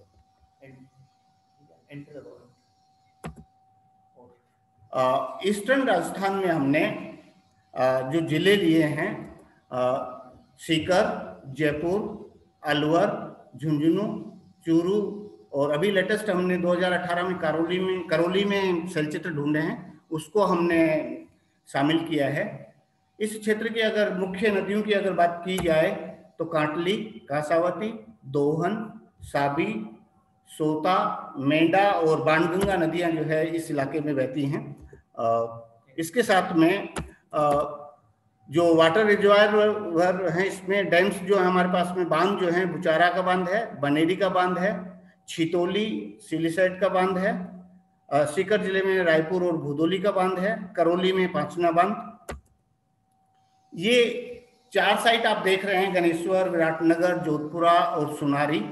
ये हमारे एरिए में उत्खनित पुरा स्थल हैं, जहाँ से हमें प्रारंभिक इतिहास की जानकारी मिलती है। ये एक मैप है जिसमें लाल रंग में रोक शेल्टर्स के जो पुरास्थल हैं उनको हमने चिन्हित किया है। भारत में प्रागैतिहासिक चलचित्र कला का प्रारंभ जो है, खोजने का काम अठारह अड़सठ में कार्लाइल के द्वारा किया गया। और मिर्जापुर डिस्ट्रिक्ट में सुहागी घाटी में सबसे पहले चलचित्र ढूंढे गए थे। उसके बाद में बहुत सारे क्षेत्रों में जो है पूरा स्थल खोजे गए। लगभग 500 साइट आज हमारे पास में भारत में है पूरे भारत में, जहाँ से हमें चलचित्र कला के बारे में जानकारी मिलती है। उनको हमने अध्ययन की सुविधा के लिए 20 क्षेत्रों में जो है विभाजित कर रखा है। मुख्य रूप से जो मध्य भारत जो है आपका आ, वहाँ पे हमें इस पुरा इस कला से संबंधित पुरा स्थल हमें मिलते हैं और विशेषकर भीमबेट का मध्य प्रदेश के रायसेन ज़िले का जो भीमबेट का है वो हमारे लिए भारत में सबसे महत्वपूर्ण पुरा स्थल है। राजस्थान के संदर्भ में अगर हम बात करें तो उन्नीस सौ छिहत्तर में वाकणकर के द्वारा इस काम में को आगे बढ़ाया गया और बाद में डॉक्टर गिरिराज कुमार और डॉक्टर रमेश कुमार पंचोली जी ने चंबल के क्षेत्र में काम किया, विशेषकर कोटा, बूंदी और बारा क्षेत्र में काम किया। राजस्थान के संदर्भ में अगर हम बात करें तो ये शैलचित्र कला के जो भंडार जो हमें दिखाई देते हैं, वो चंबल क्षेत्र में विशेषकर से दिखाई देते हैं, जिसमें आपका कोटा, बूंदी, भीलवाड़ा, बारा ये ज़िले जो हैं ये ज़्यादा महत्वपूर्ण हैं। बाकी जिलों में हमें रोक पेंटिंग मिलती ज़रूर है लेकिन छितरी हुई है बिखरी हुई है आ, हमें जोड़ के देखना पड़ेगा। ईस्टर्न राजस्थान में 1990 में पहली बार डॉक्टर मुरारीलाल जी शर्मा और स्टेट आर्कियोलॉजी के विजय कुमार जी ने काम प्रारंभ किया और 1990 में उनको सीकर ज़िले के अजीतगढ़ और जयपुर ज़िले के विराटनगर में पहली बार शैलाश्रय देखने को मिले खोजे उन लोगों ने। यहीं से काम प्रारंभ हुआ। उसके बाद में हमने जो है अलवर जयपुर सीकर झुंझुनू चूरू करौली इन जिलों में जो है शैलचित्र कला से संबंधित पुरास्थलों को ढूंढ के निकाला। आ, सीकर ज़िले में मुख्य रूप से अजीतगढ़ भीतरो सोनपुरा और गुहाला ये पुरास्थल हैं जहाँ से रॉक पेंटिंग मिलती है। झुंझुनू ज़िले में रसोड़ा बीबासर, माखर, गुडागोरजी, बामलास और चैनगढ़। झुंझुनू ज़िले में 2000 ईस्वी के बाद में हम लोगों ने ढूंढे हैं और 2009-10 में चूरू में सानन। इन क्षेत्रों में काम जब हमने प्रारंभ किया तो मुरारी लाल जी के साथ साथ में डॉक्टर विनीत गोधल जीवन खरकवाल जी उनके साथ में थे।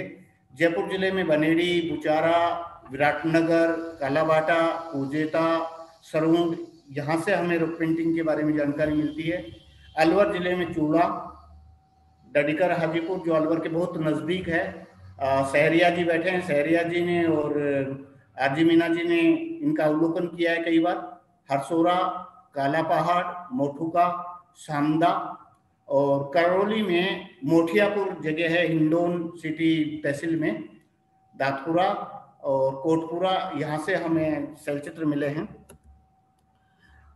अब हमें ये देखना है कि शैलाश्रय कैसे होते हैं उनमें किस प्रकार का चित्रण मिलता है कौन से रंग से किया गया है विषय वस्तु क्या है उनकी।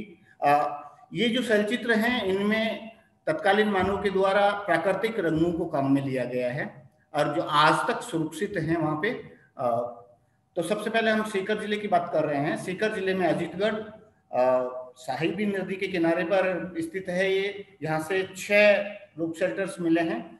इन रोक शेल्टर्स के में जो सतह के ऊपर पैटिनेशन दिखाई देता है, इसलिए चित्र धुंधले हो गए हैं। बहुत सुरक्षित अपने वहाँ। वो पानी के बाँध के बिल्कुल बगल में है। इस प्रकार की ग्रेनाइट की पहाड़ी मिलती है। छोटे छोटे बोल्डर हैं। इन्हीं में छोटी छोटी कैविटी हैं जिनमें हमें चित्रण मिलता है। इस प्रकार की कैविटी हैं जिनमें चित्रण मिलता है इसी की सतह के ऊपर। ये आप एक फ्लोर डिज़ाइन यहाँ पे देख रहे हैं जो लाल रंग से बनी हुई है और इसके ऊपर पैटिनेशन है, जमाव है धूल मिट्टी का, जिससे ये सुरक्षित हो गया है। भीतरो निमगा थाना तहसील में है, निमगा थाना से करीब पंद्रह किलोमीटर की दूरी यहाँ पे एक क्वार्जाइट चट्टान है, केवल सिंगल चट्टान है। इसके इर्द गिर्द हमें पैलियोलिथिक टूल्स मिले हैं और यहाँ से लाल रंग से चौपायों का जो है चित्रण किया गया है। लाल रंग से वृषभ का अंकन यहाँ पे हमें मिलता है। तीन चित्र हैं इसमें टोटल सोनपुरा निमका थाना तहसील में है बहुत महत्वपूर्ण साइट है। यहाँ से दो, तीन बड़े शेल्टर मिले हैं जो पेंटेड हैं और काफ़ी बड़ी संख्या में यहाँ पे चित्र मिले थे उन्नीस सौ बानवे में। ये एक जनरल व्यू है शेल्टर का। लंबा चौड़ा है, लगभग सत्तर मीटर के आसपास लंबा है ये पैनल जो है। लेकिन सबसे बड़ी खासियत ये है कि ये सैंडस्टोन का है। बलुआ पत्थर का बना हुआ है, बहुत सॉफ्ट है, आसानी से टूट सकता है। बीच में आप ये देख रहे हैं, ये पानी के चैनल से कट गया है, पूरा पूरा दो पार्ट में बट गया है ये। ये यहाँ का जनरल व्यू है, ये पानी का पूरा रिजर्वायर है अपने आप में। इसी की तलेटी में जो है हमारे शेल्टर हैं। ये देखिए आप, एक पैटिना है, उसके नीचे जो है, हमें एक लाल रंग से एक वृषभ का अंकन दिखाई दे रहा है। ये व्हाइट कलर से जो है एक वृषभ का अंकन है यहाँ पे। यहाँ पे एक व्हाइट कलर से एक बहुत बारीक लाइनों में जो है एक वृषभ का अंकन है। ये एक मछली का अंकन है। पूरा फुल्ली पैक्ड है। लाल रंग से बनाया गया था। अब लोग इस पे पत्थर मार मार के इसको खत्म कर रहे हैं। इस एरिया में हमें फ़िश हुक्स खूब सारे मिले हैं चारों तरफ़ से सोनपुरा के इर्द गिर्द में। आप, यहाँ पे देखिए, यहाँ पे भी एक सफ़ेद रंग से एक चित्रण मिलता है हमें। केवल एक आउटलाइन बनाई हुई है। ये क्लियर ये तीन रंग इसमें लिए गए हैं, सूरज चाँद, ये ढाड बोलते हैं इसको। इसमें सफ़ेद रंग को काम में लिया गया है। सफ़ेद रंग के साथ में बैंगनी और लाल हल्का रंग काम में लिया गया है। एक सूरज जैसी आकृति बनाई गई है, इसको स्थानीय भाषा में सूरज चाँद की घाट बोलते हैं। ये दो मानवाकृतियाँ हैं जो एनग्रेविंग से बनाई गई हैं। एनग्रेविंग है अपने आप में कुरेद कर बनाई गई हैं। इस प्रकार के टूल्स हमें अभी थोड़ी देर पहले प्रवीण जी गणेश्वर कल्चर के दिखा रहे थे हमें भी वहाँ से सोनपुरा से मिले हैं। ये कफ मार्क्स मिले हैं गोहाला से। आ, लाइनिंग डिज़ाइन में है लाइनर है एकदम और ऐसा माना जाता है कि जो पेट्रोग्लिफ्स जो हैं आसमिनिकस जो हैं इनके बनाने के पीछे उद्देश्य था। आ, ये माना जाता है कि आ, कोई त्योहार विशेष पर आदिकाल में जो है लोग हर साल का एक बनाते थे। कुछ कहते हैं कि नहीं, रंग बनाने के काम में लेते थे। इसके बहुत सारी योजनाएँ हैं। ये हमें नीमबा थाना पास ग्वाला से मिले हैं। जयपुर डिस्ट्रिक्ट की बात करें तो हमारे पास में बनेरी है, बुचारा है सरूंड है, विराटनगर, कालाबाटा और पूजेता, बहुत सारी साइट्स पाँच साइट्स हैं हमारे पास में। ये बनेरी की जो कैविटी हैं डिडाइट की चट्टानों में, उनका एक जनरल व्यू है। इस प्रकार की कैविटी उनमें चित्रण मिलता है हमें। छोटी छोटी कैविटी हैं। इनके इर्द गिर्द हमें मेसोलिथिक पीरियड के टूल्स मिलते हैं लघु पाषाण काल से संबंधित टूल्स मिलते हैं। ये सरुंद की पहाड़ी है, जिसमें छोटी छोटी कैविटी हैं। कोटपुतली के पास में कुजेता नामक एक जगह है। वो उस गाँव में हमें लाइमस्टोन के ऊपर ये पैकिंग सिस्टम के द्वारा एनग्रेविंग मिली है। ये ऐतिहासिक काल के चित्र हैं। एक ये स्थानीय खेल है, चरभर, उससे संबंधित चित्र है। एक पैनल के ऊपर आप देखिए, दो वानर बनाए हैं। फिर चितेरे ने अपने भाव को दर्शाने के लिए ठीक उनकी उल्टी परछाई बनाई है। आप देख सकते हैं, वो क्या कहना चाह रहा है, ये चित्र अपने आप बोल रहा है। इसके बगल में एक चरबर का खेल का, बना हुआ है। युद्ध के दृश्य हैं इस चट्टान पे। ये देखिए हाथी को सजा रखा है। एक योद्धा ऊँट के ऊपर बैठा हुआ है, हाथ में ढाल और तलवार है, नीचे योद्धा जो है, ढाल और तलवार लिए हुए हैं। ये युद्ध के दृश्य हैं। ये पूरा पैनल भरा हुआ है युद्ध के दृश्य से। ये गुप्ता पीरियड का है। आप देख के इस चित्र, इन चित्रों को देख के तय कर सकते हैं कि किस प्रकार की सवारी थी उनके पास में और किस प्रकार के हथियार जो है वो युद्ध के मैदान में वो लोग काम में लेते थे। ये पूरा एक बोल्डर है जो भरा हुआ है, एनग्रेविंग का। विराटनगर सब लोग जानते हैं, मत्स्य जनपद की राजधानी रहा है, बहुत महत्वपूर्ण अपने आप में। यहाँ से हमें पूर्व ऐतिहासिक काल के चित्र मिलते हैं। इस प्रकार के ग्रेनाइट के बोल्डर्स हैं और कैविटी हैं जिनमें हमें चित्रण मिलता है। ये कैविटियाँ हैं जिनमें छोटे छोटे जिनमें आराम से वो खड़ा रह के या बैठ के चित्र बना रहा है। ये एक चित्र आप देख रहे हैं। ये इसके ऊपर पूरे पे पैटिनेशन आ गया है। लाल रंग से चित्र है इसमें। आ, इस प्रकार की ढाट हैं जहाँ काफ़ी बड़ी संख्या में लोग नीचे आराम से बैठ सकते हैं। ये एक हिरन की पेंटिंग है जो हमें गणेश डूंगरी से मिलती है। आउटलाइन ली है केवल। ये बीजक की पहाड़ी जो है बौद्ध स्तूप जो आप लोग देखते हैं उसके बगल में एक शैलास्त्र है जिसमें हिरण का चित्रांकन किया गया है विराटनगर में। ये बौद्ध काल से संबंधित हैं।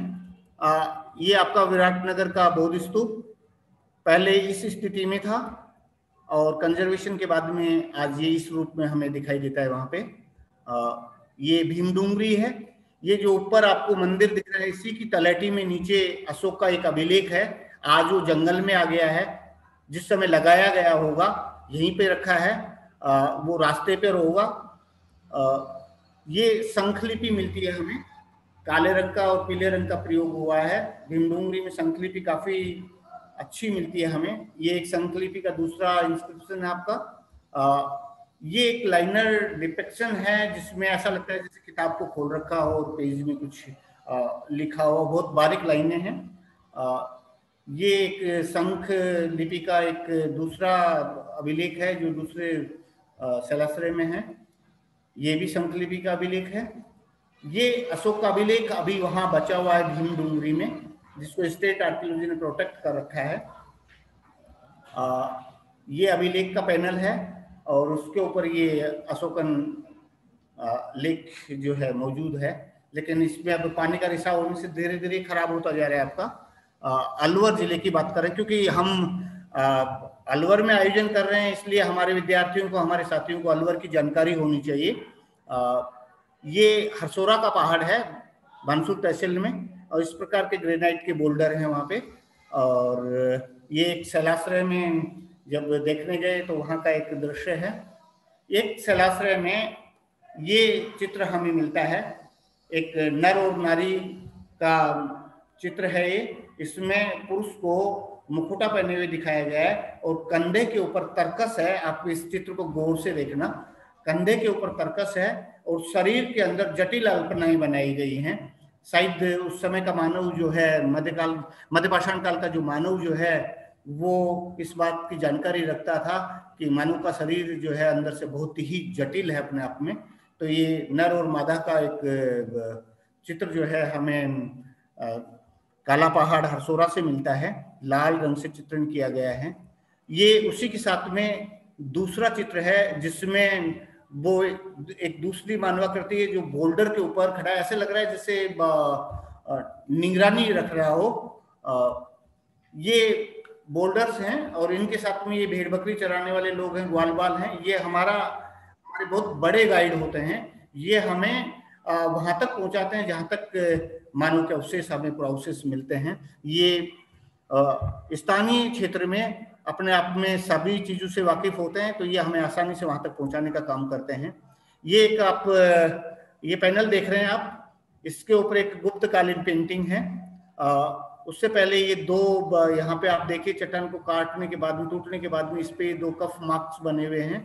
आ, इसको आ, जो है बाजड़ा बाटा कहा जाता है। आप पत्थर लेके अगर बजाएँगे तो ये बजता है आवाज़ें निकलती हैं इसमें। ये एक थिन लाइन की इंट्रिकेटेड फॉर्म है। बहुत बारीक डिज़ाइन बनाई हुई है। मिजोलिथिक एज की है। ये ये हरसोरा से हमें मिलती है। आ, ये देखिए आप इसका व्यू देखिए क्लोजअप देखिए। इनके इर्द गिर्द हरसोरा में हमें आ, इस प्रकार से पेलोलिथिक टूल्स जो है जमे हुए मिलते हैं। आ, जो हमें काल निर्धारण करने में सहायता करते हैं। ये पेलोलिथिक टूल्स मिले हैं वहाँ से। झरना नामक एक जगह है, उसके किनारे, पानी के किनारे किनारे। ये वहाँ से जो है पेलोलिथिक टूल्स हैं। ये सामदा का पहाड़ है। इसमें भी बहुत सारी छोटी छोटी गुफाएँ हैं जहाँ हमें चित्रण मिलता है। ये इस में जो है एक संकलिपि का इंस्क्रिप्शन है। ऐसी कैविटी है जिनमें हमें चित्रण मिलता है मिजोलिथिक एज के। ये ये चित्र देखिए आप। साफ़ साफ़ दिखाई दे रहा है। आ, कहना बहुत आसान है कि चित्र है। जब आप नज़दीक जाएँगे तो आपके समझ में आएगा कि हाँ कि चित्र है या नहीं है क्योंकि ग्रेनाइट में कलर मिक्सअप हो जाता है। पहचानना आसान नहीं है एक एक लाइन को। आ, ये काका था ये। ये दूसरा एक जनरल व्यू है उसी पहाड़ी का। आ, इस प्रकार के उसमें सेल्टर्स हैं। नीचे निकाल। हेलो। आवाज़ तो आ रही है आगे नहीं बढ़ रही ना। इसको हटा। एक एक मिनट। हेलो। जी सर आ रही है आवाज़? जी जी। स्लाइड आगे नहीं किसी एक मिनट।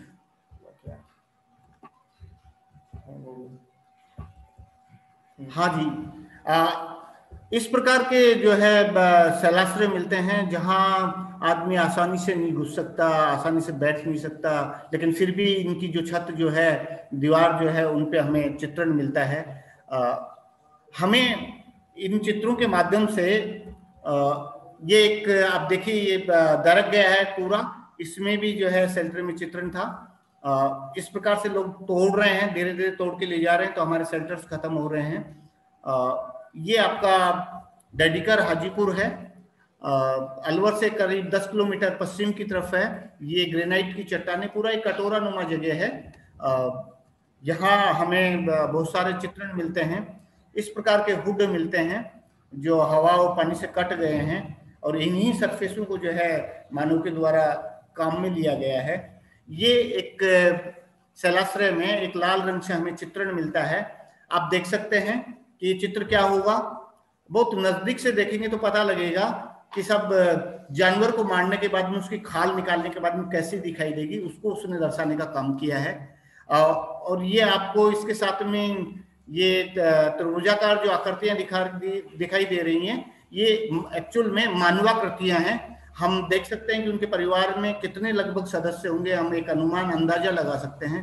मैम ये एक ऐसा पैनल है जिस पर बहुत सारे रंग काम में लिए गए हैं। आ, कई बार इसके ऊपर चित्र बने हैं। ओवरलेपिंग हमें दिखाई देती है। सुपर इम्पोजिशन है इस सेल्टर में। बार बार मानव के द्वारा काम में लिया गया है। ये मीजोलिथिक एज का एक चित्रण है। आ, दूसरी पैनल में ये हाथी का अंकन है। अब से लगभग दस हज़ार साल पहले, आठ हज़ार साल पहले अगर हाथी का चित्रण वो लोग कर रहे हैं तो निश्चित रूप से उन्होंने बहुत नज़दीक से देखा होगा। ये एक हाथी का चित्रण हमें मिलता है, जिसने मुँह ऊपर उठा रखा है सुन को ऊपर कर रखा है। ये उसी पैनल पे एक दूसरा चित्र है। आप देखिए, इसमें दो थीम आपको दिखाई देंगी। आपका जो बुल जो है, वृषभ जो है, वो आक्रामक स्थिति में दिखाई दे रहा है पहुँच उठाए हुए है। और ऐसा लगता है जैसे आक्रमण करने की स्थिति में हो। नीचे आप, ये जो लाइन देख रहे हैं, ये वाली जो लाइन देख रहे हैं, ये एक्चुअल में अम्बुस है। ये दोनों तरफ़ की आप लाइन दे रहे हैं क्लियर पीछे तक बंद करता है। ये अम्बुस है, शिकार करने का तरीका है। और ये जानवर इसमें प्रवेश कर रहा है और इस शिकारी पहले से तैयार खड़ा है, मुखोटा उड़ के हाथ में भालाग्र ले रखा है। तो शिकार करने का दृश्य है ये। वो वो बता रहा है कि हम किस प्रकार से शिकार करते थे।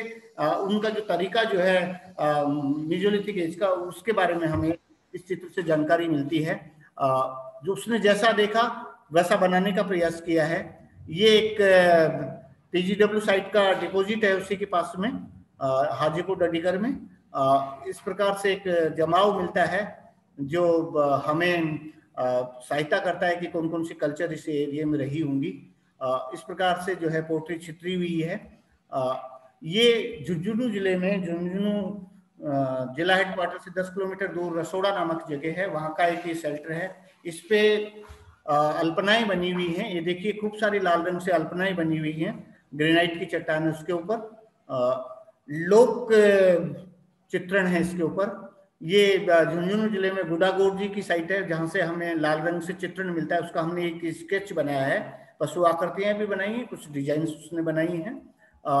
ये नवलगढ़ के पास में चंडगढ़ नामक जगह जहाँ से कफ मार्क्स हमें मिलते हैं। तालछापर में ये तालछापर है चोरू ज़िले का। इसी के पास में एक जगह है सानन जहाँ से हमें रॉक पेंटिंग मिली ग्रेनाइट की चट्टान पे। ग्रेनाइट के बोल्डर पे एक ये स्वास्तिक का चित्र बना हुआ है। आ, ये भी मेजोलिथिक एज का है। आ, करौली। 2018 में हम लोगों के द्वारा करौली ज़िले में हिंडोन तहसील के अंतर्गत मोटियापुर ग्राम पंचायत में चित्र ढूंढे गए हैं। यहाँ पे तीन सेल्टर हैं, जिनमें हरे, लाल और सफ़ेद रंग से चित्रण किया गया है और विषय वस्तुओं में कुछ अल्पनाएँ बनाई गई हैं, कुछ मानवाकृतियाँ बनाई गई हैं, कुछ पक्षियों के चित्रण मिलते हैं, कुछ जानवरों के मिलते हैं। और ये करौली का सैंडस्टोन है, उसी के ऊपर, उसी को काम में लिया गया है, उसी के सरफेस पे चित्र बनाए गए हैं। ये उस सेल्टर का एक जनरल व्यू है जो मुकेश जी हमारे साथ में हैं, जो हिंडोन गवर्नमेंट कॉलेज में हिस्ट्री में हैं एसोसिएट प्रोफेसर और ये हमारे साथी लोग हैं। ये डॉक्टर मुरारलाल जी हैं जिन, जो सर्वे कर रहे हैं वहाँ पे। इस प्रकार का एक हमें जो है लाल रंग से चित्रण मिलता है वहाँ पे। आ, ये देखिए समय बहुत ज़्यादा होता जा रहा है। मैं अपनी बात को समेटते हुए कुछ यहाँ के मोतियापुर के कुछ चित्र दिखाकर अपनी बात को ख़त्म करना चाहूँगा। ये इस प्रकार की अल्पनाएँ मिलती हैं लाल रंग से। आ, ये एक ह्यूमन फिगर है वहाँ से। आ, दो हैं एक साथ में आप देख रहे हैं हाथ ऊपर उठा रखे हैं। एक विशेष स्थिति में इनको जो है चित्रित किया गया है। ये एक अल्पना है। ये एक पक्षी का चित्र है। आ, ये देखिए आप कल्पना भी की है उसने कि कैसा हो सकता है। आप देख सकते हैं सफ़ेद रंग से चित्रण है। आ, ये देखिए सफ़ेद रंग से कुछ लाइनें बनाई। ये एक पक्षी का है। आ, एक पक्षी एक जानवर बनाया उसके ऊपर जो है राइडर है। ये हाथ के छा, छापे हैं। एक ये डिज़ाइन है। एक ये अल्पना बनाई गई है। चलते चलते ये बूंदी की कुछ दो तीन स्लाइड हैं। ये आप लोग देख लीजिए। डॉक्टर मुरालाल शर्मा जी और R S Mishra ji survey करते हुए बूंदी ज़िले में गरड़दा के पास में। ये के जी शर्मा जी और डॉक्टर ओम ओम प्रकाश कुकी बूंदी से हमारे साथ में थे। आ, इस प्रकार के पशुओं का जो है चित्रण बूंदी की रूप पेंटिंग में हमें मिलता है।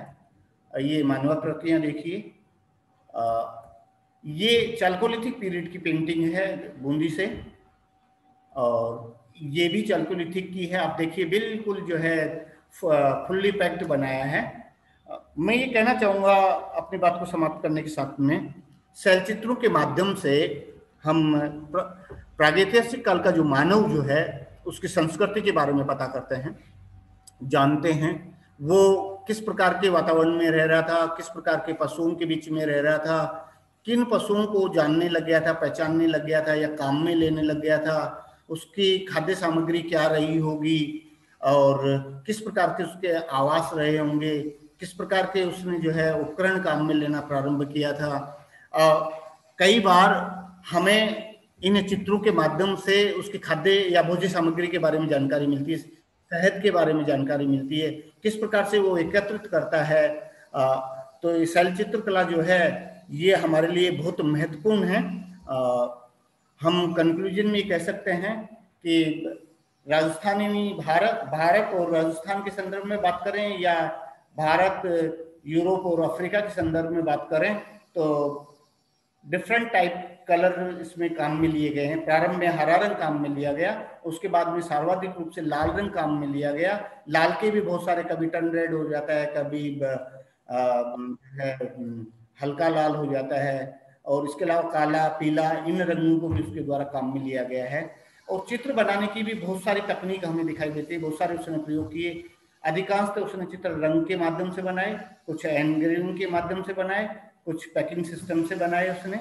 इन चित्रों की बनाने की जो शैली जो है, ब्रश जो है, उसका आकार प्रकार जो है उसके आधार पे हम देखते हैं कि भारत में मध्य पाषाण काल से लेकर और लेट गुप्ता पीरियड तक के चित्र हमें इन चलचित्रों में दिखाई देते हैं।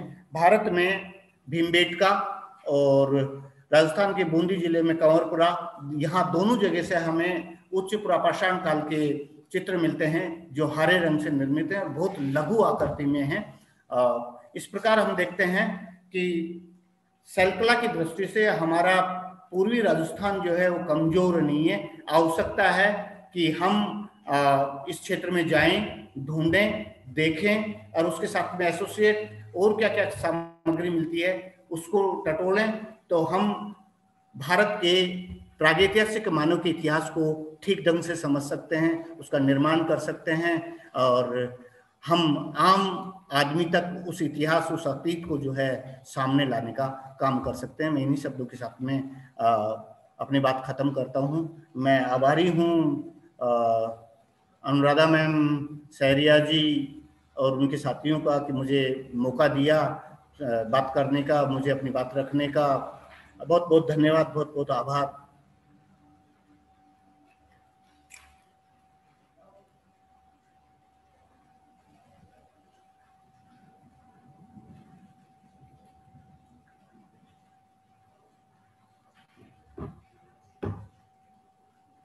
सर आवाज़ आ रही है?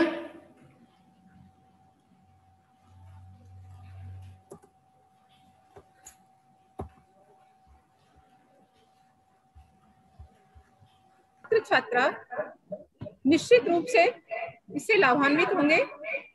एक बार पुनः बहुत बहुत धन्यवाद।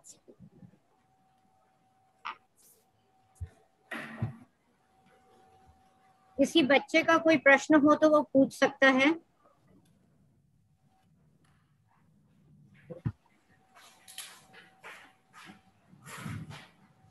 आ, सर मे, मेरी एक क्वेरी थी जिज्ञासा राधर में कहूँगी।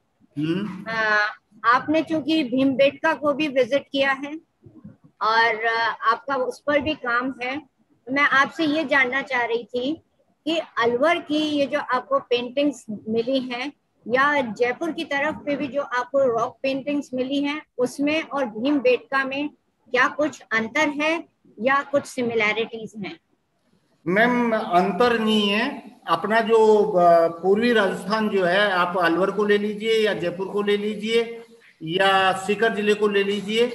हमारे यहाँ जो मेजोरिटी एज की जो पेंटिंग मिलती है, उसमें और जो भीमबेटका से पेंटिंग मिलती है, उसमें कोई अंतर नहीं है।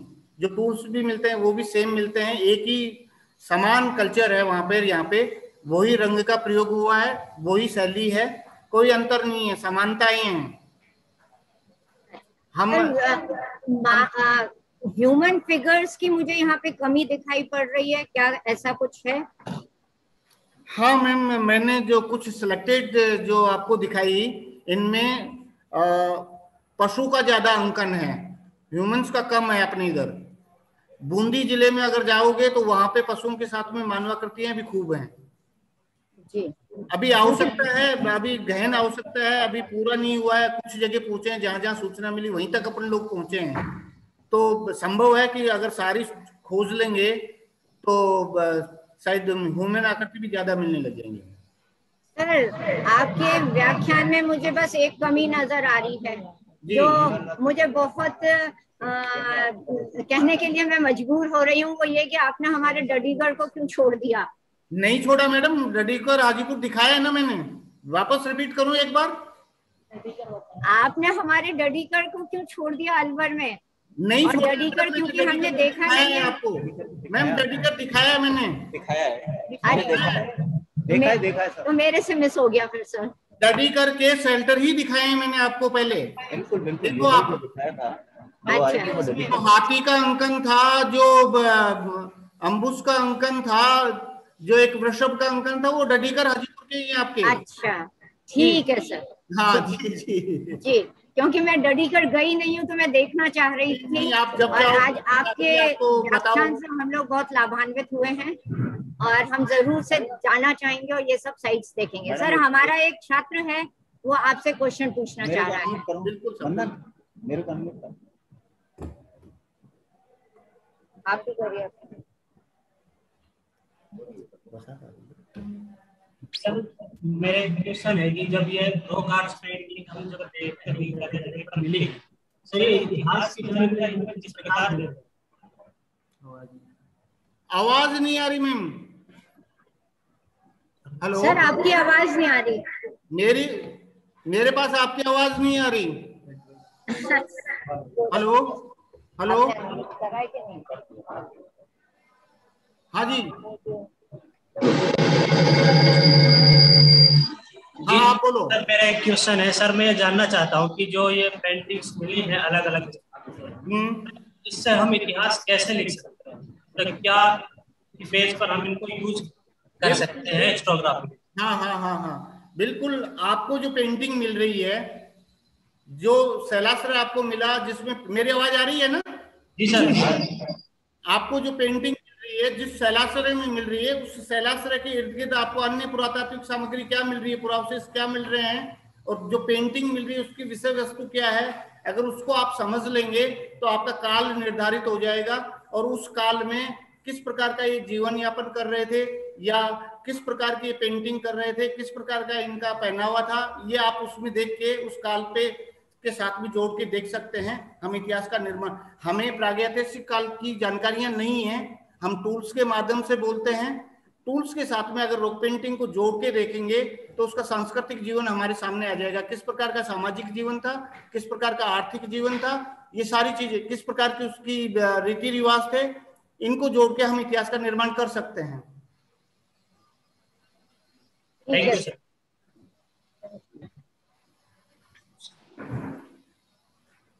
thank you so much sir ji. हाँ,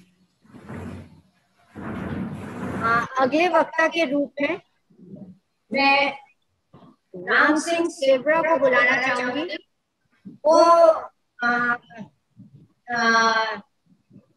काफ़ी वयोवृद्ध व्यक्ति हैं, परंतु जैसे ही उन्हें इस वेबिनार के बारे में पता चला कि यह इंडस वैली सिविलाइजेशन पर हो रही है तो उन्होंने हमसे अनुरोध किया कि आप मेरा एक दस मिनट का या एक कुछ इंटरेक्शन रख सकते हैं। तो इसलिए आज मैं उनको इस मंच पर अभी इनवाइट कर रही हूँ। राम सिंह सेवरा जी अगर ऑनलाइन है तो हमसे जुड़े अपने वीडियो को ऑन करें और अपने को अनम्यूट करें। थैंक यू सो मच आपका स्वागत है साहब हेलो जी। मैं मैं राम सिंह सेवरा बोल रहा हूँ। सर आपकी आवाज़ बहुत धीरे आ रही है। आवाज़ आ रही है? मेरी? हाँ मैं सभी मैं अध्यक्ष महोदय एवं समस्त उपस्थित विद्वानों को मेरी नमस्कार है। मुझे बड़ी खुशी है कि शहरिया साहब ने मुझे बोलने का अवसर दिया। मैं मैं आपको हड़प्पा के बारे में कुछ बताना चाहूँगा कि हड़प्पा जो जो हड़प्पा जो है ये आवाज़ आ रही है आवाज़ आ रही है क्या? मेरी? जी सर। आ रही है सर आवाज़ आवाज़ आ रही है मेरी? जी सर। आ रही है। जी सर आ रही है। मैंने मैंने खास तो विशेष तौर से मैंने तमाम जितो भी, जो सिंध घाटी सभ्यता के संबंधित जो भी उत्खनन हुए, जहाँ जहाँ भी स्थानों पर उत्खनन हुआ, उनमें, उनका मैंने अध्ययन किया है। मुझे मालूम हुआ कि मोहन जोदारो में जो सब्जेक्ट मैटर जो लिखित टेबलेट्स पर, यानी मुद्रा लेखों में जो मैटर है, वो ही उसी का रिपीटेशन हड़प्पा में, लोथल में, चौदारों में, जहाँ जहाँ भी जो टेबलेट्स प्राप्त हुई रिटर्न टेबलेट्स उनमें सब में सब्जेक्ट रिपीटिशन है।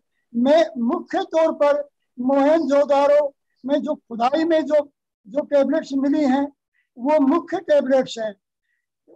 क्योंकि वो नगरी जो है, जो खुदाई में जो नगरी मिली है, वो नटी कीटी नाम से नटी कीटी, नटी सिटी, जिसको इंग्लिश में नटी सिटी कहते हैं। उसमें वो नगरी जो है वो कोई युग में बहुत भारी फ्लड आने से, बाढ़ आने से, वो भयंकर बाढ़ आने से डूब गई थी वो नगरी। और वो नगरी, उस नगरी का जो सरदार था, वो स्कंद कार्तिक था। स्कंद का, मैंने मैंने तमाम मुद्राओं को पढ़ा है। उन मुद्रा लेखों के अंदर स्कंद कार्तिक के सैकड़ों नाम, सैकड़ों डेजिग्नेशन यानी पद हैं उनके। उनका एक विशेष पद जो है, वो अर्पा है, अर्पा। अर्पा अर्पा का मतलब ये होता है प्लस या कॉड जिसको जिसको जोड़ कहते हैं, प्लस, जिसका अर्थ है कॉपरेशन कॉपरेट और दूसरा ये, दूसरा अर्थ ये है कि उसकी चार लाइनें बनती हैं जब प्लस लिखते हैं तो अर्पा का अर्थ चार भी चार भी है संख्या चार भी है। तो अर्पा जो है, अर्पा जो है, इसके, अर्पा का नाम का जो इनका पद था सिंध कार्तिक का इन्होंने अरपा नाम से ही ये हड़प्पा नगरी की स्थापना की थी इन्होंने। दूसरा अरब देश जो है, इस, इसका नाम भी, नामकरण भी स्कंद कार्तिक ने अरब देश नाम, अरपा अरब देश नाम किया था।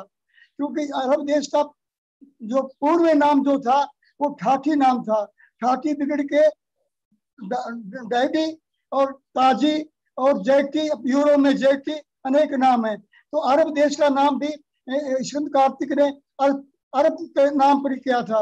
अरब के संबंधित टेबलेट जो है वो मैंने बताई है। शेरे साहब को कितने नंबर पर है? ये अरपा थे ना? अरपा 186 186 180 हाँ है 186 यानी इसकी टेबलेट जो है वो यानी C X X eighty seven page number एक सौ छियासी। पेज नंबर ये कि मेरी एक पुस्तक जो शहरिया साहब के पास होगी deciphering of Indus valley inscription उसके पेज नंबर एक सौ छियासी में अरपा, स्कंद कार्तिक का जो पद है, वो अरपा है।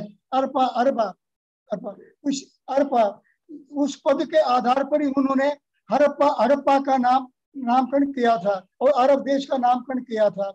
हड़प्पा जो है ये पंजाब के अंदर राबी नदी के ऊपर है। तो राबी न, राबी नदी के किनारे पर है। राबी नदी का नाम भी मूल अरबी अरबी अरबी अरबी का संधि युक्त शब्द हुआ राबी। तो रबी नाम नामकरण भी उन्होंने ही किया था इसका। वो भी अरपा के नाम से अरपा के नाम से ही नामकरण राबी नदी का हुआ था।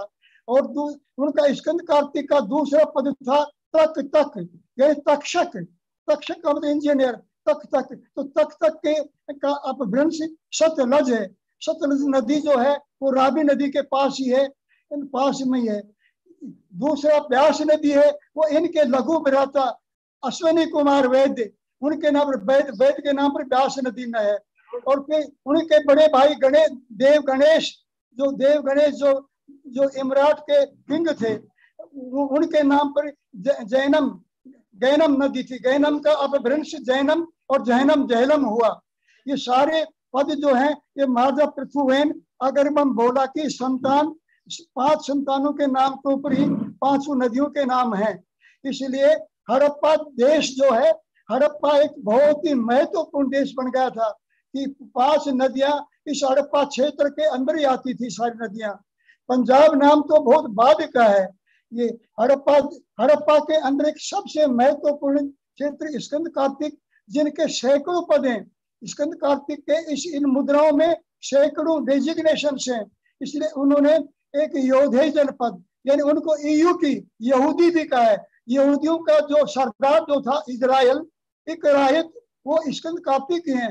उन्होंने हड़प्पा क्षेत्र में, हड़प्पा क्षेत्र में योधे जनपद की स्थापना की थी। जिसकी मुद्रा है जिसकी मुद्रा भी page number page number one eighty eight. One eighty eighty one eighty यानी ये उन किया था। तो ये हड़प्पा जो क्षेत्र है ये बहुत ही महत्वपूर्ण क्षेत्र रहा है। इसमें योधे जनपद जो है विख्यात तमाम इतिहास में एक विख्यात क्षेत्र रहा है हमेशा। इसके ऊपर हज़ारों सिक्के सिक्के डाले गए हैं, योधे जनपद के ऊपर। ये स्कंद कार्तिक का मुख्य जनपद था, हरपा हरपा क्षेत्र के अंदर हरपा क्षेत्र में तो हरपा जो नाम है, वो स्कंद कार्तिक के नाम पर ही है। हड़प्पा हड़प्पा के अंदर बहुत ही महत्वपूर्ण गाँव थे, नांदीपुर और खटकली का जिसको कातिका खट कातिका का खटकली का ये महत्वपूर्ण गाँव भी थे उसके इस क्षेत्र के अंदर। तो हड़प्पा जो है ये उस, उस इतिहास उस, का, उस काल के अंदर एक महत्वपूर्ण महत्वपूर्ण क्षेत्र था ये। परंतु ये मोहनजोदड़ो के नंबर दो पे आता है क्योंकि जितनी भी मुद्राएँ हड़प्पा में मिली हैं मुद्रा लेख मिले हैं वो हड़प मोहनजोदड़ो का रिपीटेशन ही है। इसलिए मालूम होता है कि मोहन मोहनजोदड़ो जो है वो इन के अंडर में हड़प्पा गणराज्य आता था।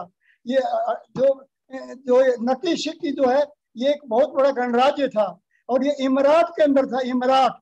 इमरात को यमरात भी कहते हैं और देव गणेश के किंग थे, जिनको यमराज भी कहा है। कि वो अनुशासन उनका अनुशासन महान था। बहुत ही अनुशासन कठोर अनुशासन था, इसलिए उनको यमरात कहा गया है। तो इमरात के अंदर ही ये हड़प्पा भी उसी देश के अंदर आ जाता है। तो मोहनजोदाड़ो की जो भी मुद्राएँ मिली हैं तमाम जगह लोथल चौधारो सब जगह जो भी मुद्राएँ मिली हैं, वो मोहनजोदाड़ो की मुद्राओं का रिपीटेशन ही है। रिपीटेशन में कुछ दो चार प्रतिशत ही भिन्न है, बाकी एक ही रिपीटेशन है। और मेरा तो उद्देश्य केवल मेरा तो सिर्फ़ मुद्राओं को पढ़ने का ही था। बाकी क्षेत्रों के बारे में मैं विशेष मैंने जाके मैंने नहीं देखा नहीं मैंने कोई खोज की। मैंने जो भी मुद्राएँ थी, जो उन्हीं का मैंने अध्ययन किया है, जिनका उनके अध्ययन के आधार पर मैं बोल रहा हूँ आपको कि योधे जनपद की मोहर है हड़प्पा की भी मोहर है हड़प्पा तो ये जो भी मुद्राएँ मिली हैं, उनके आधार पर मैं बता रहा हूँ कि यहाँ इसके अतिरिक्त ये ये संख्या क्षेत्र, उस संख्या क्षेत्र होते थे। संख्या क्षेत्र बत्तीस, जिनको बत्ती जिनको थर्टी टू अंग्रेज़ी में कहते हैं। बत्ती को बत्ती अब वृंश बाद अब आजकल इतिहास में बाहिक है बाहिक बाहिक बत्तीस का। और बत्तीस ये बत्तीस क्षेत्र के अंदर ही ये ये, सारा क्षेत्र हड़प्पा का सारा क्षेत्र और पाँचों नदियाँ बत्तीस संख्या क्षेत्र में आती थी। इसको बाहिक का है पातिक का है मूल शब्द पातिक और बैटीक जिसको बटिंडा कहते हैं और भाटिया कहते हैं दो दिन के कहते हैं बसीन कहते हैं इसी बत्तीस नाम पर ये सारे क्षेत्र हैं। तो सारे ना एक पद हैं जो लोगों के गोत्र हैं लोगों के गोत्र बन गए उस इस क्षेत्र में। तो बत्तीस नंबर संख्या नंबर बत्तीस में ये हड़प्पा आता है। और इस बत्तीस नंबर में योधे जनपद था। योधे जनपद में आप एक, आपको एक बहुत बात बताता हूँ जिसके ऊपर संभव तो आपको आश्चर्य होगा कि इजराइल जो है ये स्कंद कार्तिक का नाम ही एक रायत है एक रायत एक रायत रायत वन रॉयल और एक जैसे ताश के गेम में एक इक्का जो होता है, वो बादशाह से भी ज़्यादा प्रभावशाली इक्का होता है। तो ये ये बादशाहों से भी, यानी किंग राजाओं से भी बहुत प्रभावशाली थे, क्योंकि ये ये देव गणेश देव गणेश और जमदाग्नि विष्णु, इन दोनों के सेनापति थे ये।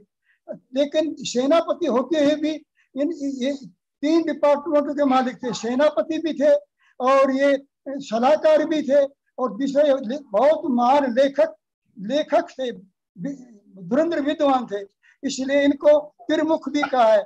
और इसलिए इनके नाम के ऊपर स्कंद कार्तिक के नाम ना, नाम पर ही यहूदी जनपद था। ये योधे जनपद है यहूदी जनपद।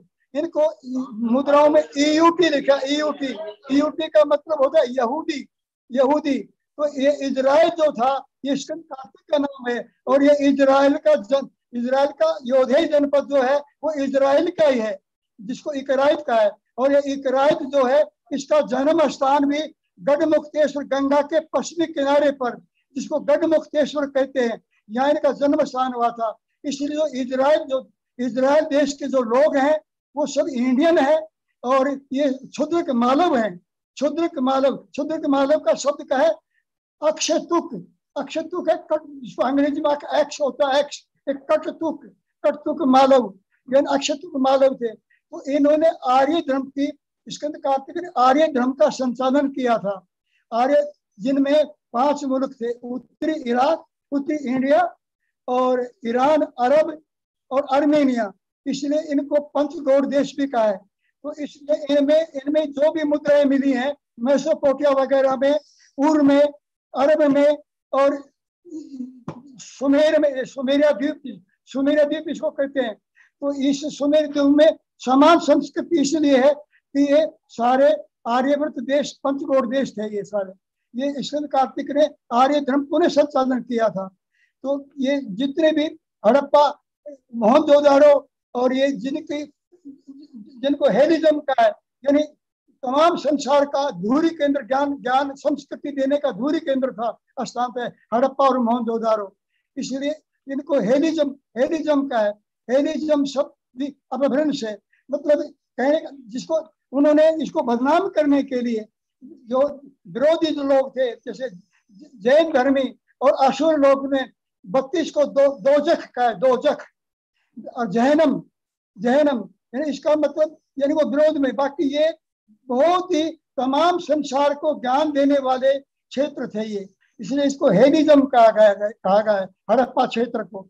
हड़प्पा क्षेत्र में ही योधे जनपद था, जिसने सारे संसार को ज्ञान दिया था, सारे संसार के अंदर विश्व विजेता था कार्तिक विश्व हीरो वार इसको टीयू कहा टीयू अंग्रेज़ी में देखेंगे T I W T U बकेयू ये ये सब शब्द है हीरो वार युद्ध नायक यही थे। इन्होंने हड़प्पा, ये हड़प्पा एक महत्वपूर्ण देश था, महत्वपूर्ण क्षेत्र था। ये सारा। इसलिए हड़प्पा के बारे में बात तो बहुत ज़्यादा है बहुत कुछ है लेकिन ये रिसर्च वर्क है। मेरा इस क्षेत्र के बारे में मेरा रिसर्च वर्क वैसे विशेष कर तो कर नहीं है लेकिन ये, ये जो जो दो तीन जो महत्वपूर्ण स्थान है इसमें ये सारे विश्व के विख्यात थे। यहूदी जनपद यहूदी यहूदियों का जन्म यहूदियों का मुख्य स्थान ये ये हड़प्पा क्षेत्र ही है। जहाँ से जिनको क्षुद्र मालव भी कहा है और जिनको यहूदी कहा है ईयूटी यूटी का मतलब हीरो हुआर और ईयूटी का मतलब विशेष हीरो हुआर इसलिए को यहूदी कहा गया है, और इकराइट का है, इजराइल का है। ये स्कंद कार्तिकी थे, और ये हड़प्पा क्षेत्र हड़प्पा क्षेत्र था। पहले पंजाब नाम नहीं था इसका। ये पंच आब नाम, पंच नदियों का जो नाम आब है, ये बहुत बाद का नाम है। पहले हड़प्पा और हड़प्पा ही नाम था, हड़प्पा और योधे जनपद, दो ही महत्वपूर्ण क्षेत्र थे ये। मैं इतना ही आपको बता पाऊँगा। बाकी विशेष तो कोई बहुत बड़ा सम्मेलन होगा तो मैं आपको तमाम वर्ल्ड के बारे में कि इंडिया ने हाँ, और भी मैं बताता हूँ आपको कि ये नदी जो चिनाब नदी जो है चिनाब नदी भी इनके ना इन ये, ये जो ब्यास नदी मैंने बताया कि इनका अश्व इनका भाई अश्विनी कुमार जो था वैद्य था इसलिए उसका वैद्य का बिगड़ा हुआ ब्यास नाम है। और ब्याडवाड़ भी है और उसका दूसरा ये दूसरा ये, एक ये जैनम बताया मैंने, चिनाब चिनाब नदी भी जो है, वो जो इसको कनाब, इसको ये कनाब कनाब, इन विषय बहुत बहुत बहुत है। ऐसा है कि बहुत ज़्यादा विशेष बहुत बड़ा सब्जेक्ट है ये। मैं इतना ही बोल पाऊँगा। बाकी बाकी विशेष सम्मेलन में बता पाऊँगा। मैं कोई विशेष सम्मेलन होगा थैंक्स धन्यवाद। मुझे मौका दिया आपने। इसके लिए मैं आपका आभारी हूँ। कोई कोई शंका हो तो मेरे से पूछ सकते हैं आप। कोई शंका हो सर, आपका बहुत बहुत धन्यवाद। आपने आखिरी क्षण पे हमारे साथ में जुड़ करके और हमारे इस प्रोग्राम में चार चाँद लगा दिए। आपने हड़प्पा के उस शब्द को, उसकी व्युत्पत्ति किस तरह से हुई और वह शब्द कैसे बना, इसके बारे में जो बात करी, उससे एक नई इंफॉर्मेशन हमारे पास में आई है। इसके लिए आपका बेहद शुक्रिया। और हम आगे भी आपसे जुड़ना चाहेंगे और इस तरह की कई नई बातें जो आपने अपनी पुस्तक में दी हैं, वो हम ज़रूर से पढ़ना चाहेंगे। आपकी पुस्तक आज फूल सिंह जी अपने साथ में लेकर के यहाँ पर आए हैं और हमें बताई है। हम उसको ज़रूर से देखेंगे, क्योंकि जो आपने लिपि के संबंध में नई बातें इसमें लिखी हैं, वो हम ज़रूर से अपने स्टूडेंट्स के साथ में शेयर करना चाहेंगे। Thank you so much thanks, धन्यवाद आपको। और मेरी पुस्तक को आप देखें और मुझे बोलने का कहीं मौका देंगे तो मैं काफ़ी डिटेल बताऊँगा। क्योंकि मुद्राओं के आधार पर ही मैं बता सकता हूँ, मेरा मेरा और को मैं क्षेत्र आके दे नहीं देखे, लेकिन जो भी मुद्रा, जो लेख है, उनके आधार पर मैं काफ़ी बता पाऊँगा कि सबसे बड़ी बात तो आप ये देखो कि इसराइल जो है, वो इंडिया का था। इसराइल इंडिया का था और पंजाब में उनका योधे जनपद था। और उनका जन्म गंगा नदी के किनारे गढ़ मुक्तेश्वर में हुआ था। ये आप नोट करो इसराइल इंडिया का था। ये एक ये क्वेश्चन के बारे में मैं बहुत डिटेल में बता सकूँगा मैं आपको कि इसराइल जो देश है वो इंडियन है और इसराइल थैंक यू सर का नाम है। इसराइल इक्का राय इक राय इक्का जो है इक्का जो है बात जैसे ताश के गेम में इक्का जो है बादशाहों से प्रभावशाली है इसलिए इन्होंने अपने आप को इक्का कहा इक्का राय। तो इकरायत का इसराइल है और यहूदी इंडियन ही है। ये यहूदी इंडियन है और ये पंजाब के पंजाब के और जन्म इनका यूपी में गंगा नदी के किनारे गढ़ मुक्तेश्वर पर हुआ था। बाकी पंजाब में इनका आधिपत्य रहा था सिंध से लेकर के और कर्नाटक तक इनका क्षेत्र था सारा कर्नाटक तक। जी thank you sir thank you sir thank you so much अब मैं कार्यक्रम को आगे बढ़ाते हुए आज की वेबिनार की इस वैलिडिटी सेशन में वेबिनार की रिपोर्ट के लिए प्रस्तुत करने के लिए हमारी HOD ma'am doctor Anuradha madam को आमंत्रित करती हूँ कि वो इसका प्रतिवेदन प्रस्तुत करें। डॉक्टर अनुराधा मैडम थैंक्स यानी सबसे बड़ी इम्पोर्टेंट बात इसराइल की तो थी।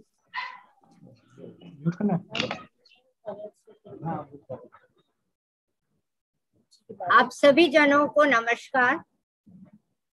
आज की इस वेबिनार के अंतिम क्षण पे हम पहुँच चुके हैं और इस समय मैं पिछले दो दिनों की जो आयोजन में हमारी एक्टिविटीज़ रही हैं और जिन्होंने पार्टिसिपेट किया है, उस बारे में आज बताना चाहूँगी। बहुत छोटे से नोटिस पे हमारे साथ में बहुत बड़े बड़े जने जुड़ गए। इसके लिए आप सबका बेहद शुक्रिया। कल का जो कार्यक्रम था वह हमें किन्हीं कारणों से बीच में ही स्थगित करना पड़ा था। परंतु उस सेशन में भी हमारे साथ में आ, हमारे कुलपति महोदय डॉक्टर जेपी यादव हमारी प्राचार्य डॉक्टर रेखा शर्मा हमारे उप प्राचार्य डॉक्टर अरुण सिंह जी और साथ ही में मेरे विभाग के सभी सदस्य चांद्री बनर्जी और आज के कार्यक्रम में मीना गौतम, डॉक्टर मीना गौतम, यह हमारे साथ में जुड़ी। मैं इन सबका शुक्रिया और धन्यवाद ज्ञापित करती हूँ इन्हें, जिन्होंने बड़े ही छोटे से समय में मेरे साथ में काम करके मेरे इस कार्यक्रम को सफल बनाया। यह एक विभाग का कार्यक्रम था और इस विभाग के सभी सदस्यों ने मेरा सहयोग किया, इसके लिए शुक्रिया। मैं बताना चाहूँगी कि हमारे यहाँ रजिस्ट्रेशन साढ़े पाँच सौ लोगों के हुए, पर बड़ा अफसोस होता है इस चीज़ का कि रजिस्ट्रेशन के लिए तो बच्चे बहुत तैयार होते हैं, मगर सुनने के लिए उनमें पेशेंस नहीं होता है। जबकि इतनी ज्ञानवर्धन बातें की जा रही हों, मगर मुझे लगता है कि शायद स्टूडेंट्स को आजकल इन चीज़ों से एलर्जी हो गई है। खैर, कल हमारे साथ में पचास जने जुड़े थे और आज भी हमारा रिकॉर्ड पचास तक ही पहुँच पाया। यूट्यूब चैनल पे। ज़रूर से हमारे 130 जनों ने जो मैंने आज सुबह तक देखा था 130 जनों ने उसको सुना। ये बहुत बड़ी चीज़ है और बहुत अच्छी चीज़ है।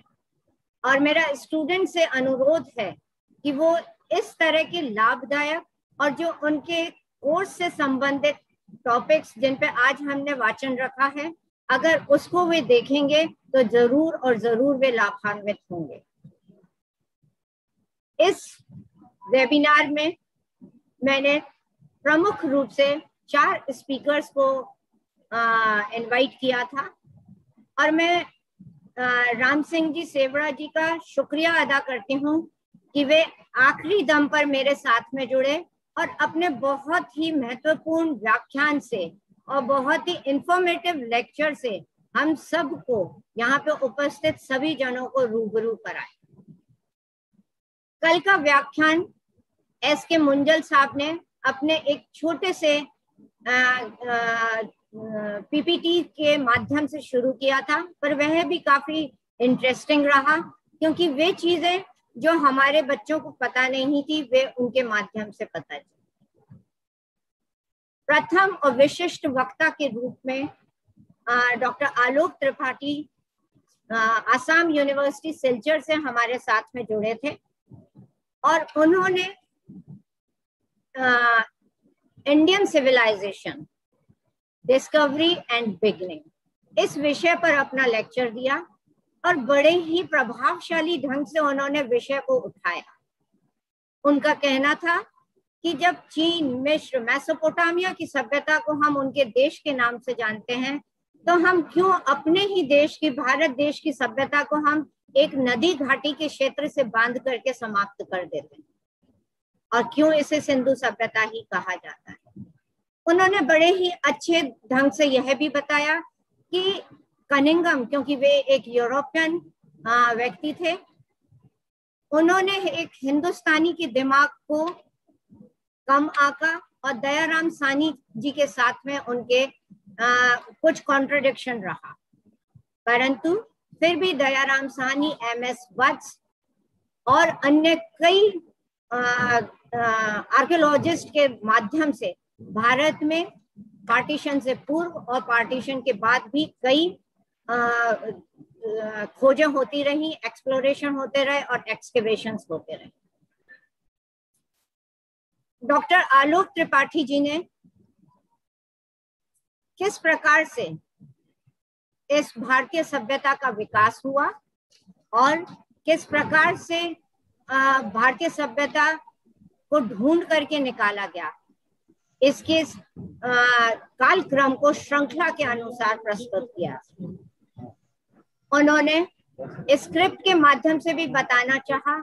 कि प्रोटो ब्राह्मी स्क्रिप्ट किस प्रकार से इस स्क्रिप्ट से ही संबंध रखती है? क्योंकि यह माना गया, जो कि दयाराम सानी ने बताया कि यह स्क्रिप्ट जो थी, जो हमारे को हड़प्पा में प्राप्त हुई है, वह स्क्रिप्ट, इंडियन स्क्रिप्ट की थी और यह ब्राह्मी से पहले का प्रोटो ब्राह्मी स्क्रिप्ट इसको माना गया इसलिए वो कहते हैं कि इसे हमें भारतीय सभ्यता कह करके ही मानना चाहिए।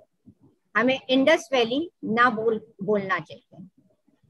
इतिहास में प्रश्न और एनालिसिस दो चीज़ों को उठाया जाता है और इतिहास के समझने के लिए हमारे को ये शब्द क्यों और कैसे भारत आए, इस पे भी हमें विचार करना ज़रूरी दूसरे वक्ता के रूप में doctor Khargwal J S Kharakwal साहब, जो कि जनार्दन राय नागर राजस्थान विद्यापीठ यूनिवर्सिटी उदयपुर से संबंधित हैं, जहाँ, वहाँ पे वे आर्कियोलॉजिस्ट के रूप में कार्य कर रहे हैं और पुरातत्व विभाग को संभाल रहे हैं। उन्होंने हड़प्पा सभ्यता संबंधित सारी सामग्री को कन्मेर में उपलब्ध बताया और उन्होंने बीड्स पॉटरी ईट का साइज़ सेटलमेंट और जिस तरह से ब्लैक एंड रेड वेयर जो वहाँ पे प्रयोग में लिए गए और आहार सभ्यता में भी प्राप्त हुए, उन सब के उत्खनन के बारे में बहुत ही डिटेल और पीपीटी के माध्यम से, जो स्लाइड्स के माध्यम से हमें समझाया, वह अद्वितीय है और आश्चर्यजनक रहा। हमारे बच्चे उन सब चीज़ों से जुड़ सके जिनको वो अभी सपने में ही सोचते थे। डॉक्टर प्रवीण सिंह जी ने आज आर्कियोलॉजी के विकास archaeology subject as a subject और उसके स्कोप और इम्पोर्टेंट फैक्ट्स पर बात करते हुए, राजस्थान के important chalcolithic excavated sites Ahar, Gilund, Balathal, Maharaj की खेरी, तथा हड़प्पा के मुख्य एक्सकेवेटेड साइट्स जैसे कालीबंगा, बरोर चक 86 इन सबको उन्होंने अपनी स्लाइड्स के माध्यम से और वहीं पे जो खींची गई उनकी जो आ, हमारे को टूल्स प्राप्त हुए थे जो हमारे को टुकड़े प्राप्त हुए हैं उनके माध्यम से एक सभ्यता को आकार दे दिया। अंतिम वक्ता के रूप में डॉक्टर मदन लाल मीना जी हमारे साथ में उपस्थित रहे जिन्होंने आज बहुत ही उम्दा विषय ईस्टर्न राजस्थान में जो रॉक पेंटिंग्स रही, पूर्वी राजस्थान में शैल चित्रकला पर उन्होंने यह वक्तव्य दिया और मैंने उनसे ये रिक्वेस्ट करी थी सर कि आप किसी और उस पर नहीं जाएँ और इस रॉक पेंटिंग्स पे बोले क्योंकि यह विषय हमारे इतिहास के द्वितीय वर्ष के ऑनर्स के छात्रों के साथ का जुड़ा हुआ है। और उन्होंने मेरी यह रिक्वेस्ट स्वीकार करी और बहुत ही बढ़िया उन्होंने ईस्टर्न राजस्थान के हर जगह सीकर सीकर में उन्होंने सोहनपुरा, अजीतगढ़ और वहाँ पे जिस प्रकार से red white rock painting copper objects के माध्यम से पेंटिंग्स को समझाया वह बहुत ही शानदार रहा। उन्होंने इसके अलावा जयपुर जयपुर में बनेरी सरूर भोनावास कुंजेता और कुंजोता में तो जो उन्होंने रॉक पेंटिंग्स जो रॉक पे एनग्रेव्ड पेंटिंग्स हैं, उसके बारे में जो बातें करी, वह काफ़ी आश्चर्यजनक और हमारी आँखें खोलने वाली थी, जो हमें आज तक पता नहीं था। विराटनगर, अलवर का ही क्षेत्र, अलवर से ही पास में है। उसमें बीजक की पहाड़ी, भीम डूंगरी, अलवर में हरसोरा, काला पहाड़, समधा में मोदी डूंगरी और झुंझुनू और चूरू के जिन पेंटिंग्स की उन्होंने बात करी, वे बहुत ही आश्चर्यजनक रही। और सर, मैं वादा करती हूँ कि मैं अपने बच्चों को ज़रूर से इन जगहों पर भेजूँगी और इन सभी रॉक पेंटिंग से उनको रूबरू कराऊँगी। आपका यह सहयोग और आपका जो हमारे को वक्तव्य दिया गया, उससे बच्चे, बच्चों के लिए भी वह प्रेरणास्पद है और वे ज़रूर इससे जुड़ेंगे। राम सिंह सेवरा जी का धन्यवाद, जो अंतिम वक्त, अंतिम वक्ता के रूप में एक बहुत छोटे से नोटिस पे, जो कल मेरे को फूल सिंह जी ने दिया कि उनका इतना बड़ा इंडस वैली सिविलाइजेशन पर काम है और उन्होंने लिपि को किस प्रकार से उद्घाटित किया है, हड़प्पा का नामकरण किस प्रकार से किया गया है, इसके बारे में वे बात करना चाहते हैं और छात्रों को इसके बारे में बताना चाहते हैं। और ये वाकई में सेवरा जी, मैं आपको धन्यवाद कहती हूँ कि आपने इतनी बढ़िया चीज़ से हमारे स्टूडेंट्स को अवगत कराया कि वे ज़रूर से इस नई, जो आपने एक नया कंसेप्ट डेवलप किया है कि ये हड़प्पा का नाम क्यों पड़ा, कैसे पड़ा, इसके बारे में वे ज़रूर से अपना ज्ञानवर्धन करना चाहेंगे और वे ज़रूर इसको आगे भी पढ़ना चाहेंगे। आपकी पुस्तक चूँकि हमारे साथ में है और ये डिपार्टमेंट में रखी जाएगी ताकि स्टूडेंट्स इससे लाभ उठा सकें। आप इसमें शामिल होने वाले प्रत्येक प्रतिभागियों, मेरे साथ में विभाग के सदस्यों, समन्वयक डॉक्टर फूल सिंह जी, आज के कार्यक्रम की आयोजक doctor Angoori Saini ji brief introduction देने वाली डॉक्टर मीना गौतम इन सब का आज हमारे साथ में जो संपर्क बना रहा और कार्यक्रम को सफल बनाने में इन्होंने जिस प्रकार से सहयोग दिया मैं आ, इनका शुक्रिया अदा करती हूँ। कल के कार्यक्रम में डॉक्टर चांद्री बैनर्जी डॉक्टर रन सिंह जी वे दोनों यहाँ पे उपस्थित थे। आज कुछ घरेलू वजह से वे उपस्थित नहीं हो पाए और वे इमरजेंसी में उनको जाना पड़ा। परंतु वे जहाँ भी हैं, शायद वो यूट्यूब के माध्यम से सुन रहे होंगे। उन्होंने जिस प्रकार से कल हमारे को सहयोग करा महाविद्यालय परिवार की ओर से मुझे जिस तरह से सहयोग मिला, इसके लिए मैं सबका शुक्रिया अदा करती हूँ और मैं धन्यवाद अर्पित करती हूँ। थैंक यू सो मच मैं आगे कॉलेज की ओर से धन्यवाद अर्पित करने के लिए हमारे उप प्राचार्य डॉक्टर अरुण सिंह जी को आमंत्रित करती हूँ। थैंक यू सो मच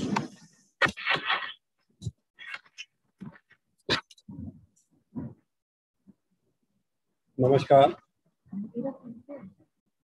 बाबू शोभराम शोभाराम राजकीय कला महाविद्यालय अलवर एवं archaeological survey of India Jaipur circle Jaipur के संयुक्त तत्वाधान में आयोजित इस सफल सेमिनार के लिए मैं आप सभी का, आप सभी को बहुत बहुत बधाई देता हूँ। Hundred years of Harappan in context of archaeology इस विषय पर हमें जो प्रमुख विद्वत के उद्गार सुनने को मिले, और उन सभी ने हमारा आमंत्रण और निमंत्रण स्वीकार किया, उसके लिए मैं महाविद्यालय परिवार की ओर से उनका शुक्रिया अदा करता हूँ। Sir doctor Alok Tripathi ji J S Kharakwal ji, Praveen Singh ji Madan Lal Meena ji, doctor Ram Singh Sevariya जिन, सेवरा जी, जिनका उद्बोधन मैंने अभी सुना, इतने प्रमुख उद्बोधन सुनने के बाद, इतने विद्युत पूर्ण भाषण के बाद, हम सभी अपने आप को लाभान्वित महसूस कर रहे हैं। मैं आप सबका महाविद्यालय परिवार की ओर से, इतिहास विभाग की ओर से हार्दिक धन्यवाद अर्पित करता हूँ। मैं इस सफल आयोजन के लिए इतिहास विभाग की एचओडी अनुराधा माथुर मैडम, जो इस कार्यक्रम की कन्वीनर हैं, समन्वयक फूल सिंह सहरिया जी, अंगूरी सैनी मैडम मीना गौतम मैडम, और छात्र जो यहाँ बैठे हुए हैं, हमारे टेक्निकल सपोर्ट के लिए उपलब्ध नंदन सिंह जी और विभाग के सभी साथीगण जिन्होंने इसको सक्रिय सहयोग दिया, उन सबका महाविद्यालय परिवार की ओर से धन्यवाद ज्ञापित करता हूँ। आप इस प्रकार से हमें आशीर्वाद देते रहें। आप हमारे ऊपर कृपा बनाए रखें हमारा निमंत्रण स्वीकार किया है। इसके लिए आपका पुनः आभार धन्यवाद।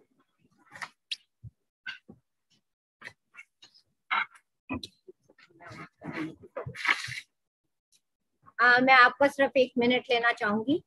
मैं अपनी एक साथी डॉक्टर नीतू जेवरिया का नाम लेना भूल गई थी। आज वे अभी अभी ही यहाँ से निकली हैं। डॉक्टर नीतू जेवरिया ने भी कल और आज हमारे साथ में पूर्ण सहयोग किया और कल कार्यक्रम का सफल संचालन भी किया। इसके लिए मैं उनको बधाई देती हूँ और उनका भी धन्यवाद अर्पित करती हूँ। Thank you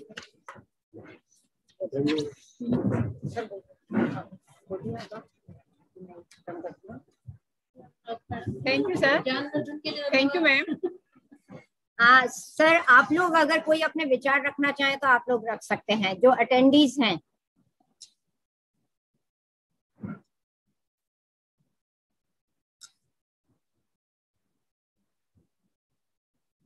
मेरे को कहीं भी किसी का हैंड रेज नहीं दिख रहा है। मुझे बहुत अच्छे कमेंट्स मिले हैं। स्पीकर्स को बहुत अच्छे कमेंट्स मिले हैं। मैं उसके लिए सभी का धन्यवाद अर्पित करती हूँ। और आगे भी मैं ऐसी ही अच्छी, सारगर्भित और विषय से जुड़ी हुई वेबिनार्स ऑर्गेनाइज करती रहूँ। यह मेरी इच्छा है और आप सब उससे लाभान्वित हो। इसके लिए आ, मैं कोशिश करूँगी। मैं वोट ऑफ़ थैंक्स के लिए डॉक्टर फूल सिंह सहरिया को आमंत्रित करती हूँ। थैंक्स मैडम मेरी आवाज़ आ रही है? आ रही है? जी जी।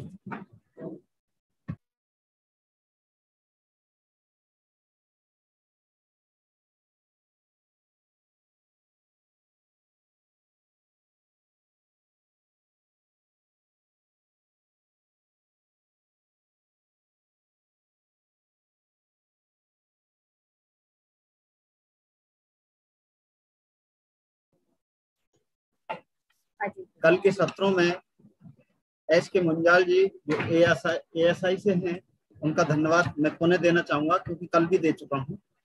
आलोक त्रिपाठी जी, प्रोफेसर आलोक त्रिपाठी जी, जिनका महत्वपूर्ण व्याख्यान रहा, जिनसे हम लाभान्वित हुए। Doctor J S Kharakwal ji archaeologist हैं। उनका बड़ा ही महत्वपूर्ण उद्बोधन स्लाइडों के माध्यम से हमारे सामने रखा गया। लेकिन बीच में जो व्यवधान आया, उसके लिए हम क्षमा प्रार्थी हैं। उन्हें हमारी वेबिनार को पूरा करने के लिए आज का सत्र बुलाना पड़ा। आज के सत्र में सबसे पहले डॉक्टर प्रवीण सिंह जी, जो सुप्रिंटेंडेंट आर्कोलॉजी एएसआई जयपुर से हैं। उन्होंने बहुत ही महत्वपूर्ण जो भी उत्खनन में जो सामग्री मिली है, उनका स्लाइड्स के माध्यम से बहुत अच्छी तरह विश्लेषण किया। उनके साथ मेरे मित्र गोविंद सिंह मीणा जी भी मुझे दिखाई दे रहे थे। आपका मैं धन्यवाद देना चाहता हूँ गोविंद सिंह जी। एएसआई जयपुर सर्कल का मैं धन्यवाद देना चाहता हूँ, जिन्होंने हमारे साथ कॉलोरेशन किया और बाबू सोबाराम राजकीय कला महाविद्यालय के साथ इस वेबिनार को इस रूप में एक आकार दिया। मेरे साथी दूसरे जो वक्ता थे डॉक्टर मदन लाल मीणा जी मेरे साथ रहे हैं, बहुत ही मेहनती व्यक्ति हैं और इनका बहुत ही उच्च स्तर का उद्बोधन था। स्लाइड्स उन्होंने जो दिखाई है, हमारे लोकल इतिहास पर महत्वपूर्ण प्रकाश डालती हैं, क्योंकि जिसमें अलवर के हरसौरा है, आपके डढ़ीकर वगैरह जो भी स्लाइड्स उन्होंने दिखाई हैं, जो चित्र हैं, जो चित्र दिए हैं सेल चित्र बताए हैं, वो तो बहुत महत्वपूर्ण थे। हमारे यूनिवर्सिटी के सिलेबस में हमने ये लोकल इतिहास को डाल रखा है और इस वजह से भी ये टॉपिक इनका महत्वपूर्ण हमारे लिए हो जाता है। तीसरे, जो हमारे साथ वक्ता जुड़े श्री राम सिंह सेवरा जी, मैं उनका शुक्रगुजार हूँ। मुझे पता नहीं था, लेकिन जैसे ही उनकी एक पुस्तक मेरे पास आई कि आप इसको एक बार देखिएगा, हालाँकि मैं उस पूरी किताब को नहीं देख पाया, लेकिन बहुत ही महत्वपूर्ण सिंध लिपि पर है हम आगे उनका किसी अगली जो वेबिनार होंगी, उनमें उनको बुलाने का प्रयास करेंगे। मैं महाविद्यालय की principal madam doctor Rekha Sharma ji का धन्यवाद देना चाहता हूँ, जिन्होंने हमें सहर्ष इस कार्यक्रम करने की अनुमति प्रदान की और उनके साथ doctor Arun Singh ji vice principal साहब हमारे दोनों दिन कार्यक्रमों में यहाँ पधारे और उन्होंने उद्बोधित उद्बोधन दिया जिससे हम लाभान्वित हुए। आ, मैं organising secretary doctor Anuradha Mathur को धन्यवाद देना चाहता हूँ कि इतना अच्छा प्रोग्राम ये वेबिनार आपने की। आप बिल्कुल न केवल एक लेखक विदुषी बल्कि एक इस तरह के जो कार्यक्रम को करने में सफल हैं। ये मैंने देखा है क्योंकि आप पहले भी कई वेबिनार सेमिनार्स करा चुकी हैं और आगे भी कराती रहेंगी। हमारा आपको सहयोग मिलेगा। मीना गौतम, मैडम, जिन्होंने आज अपना पूरा टाइम हमारे साथ दिया है, मेरी विभाग की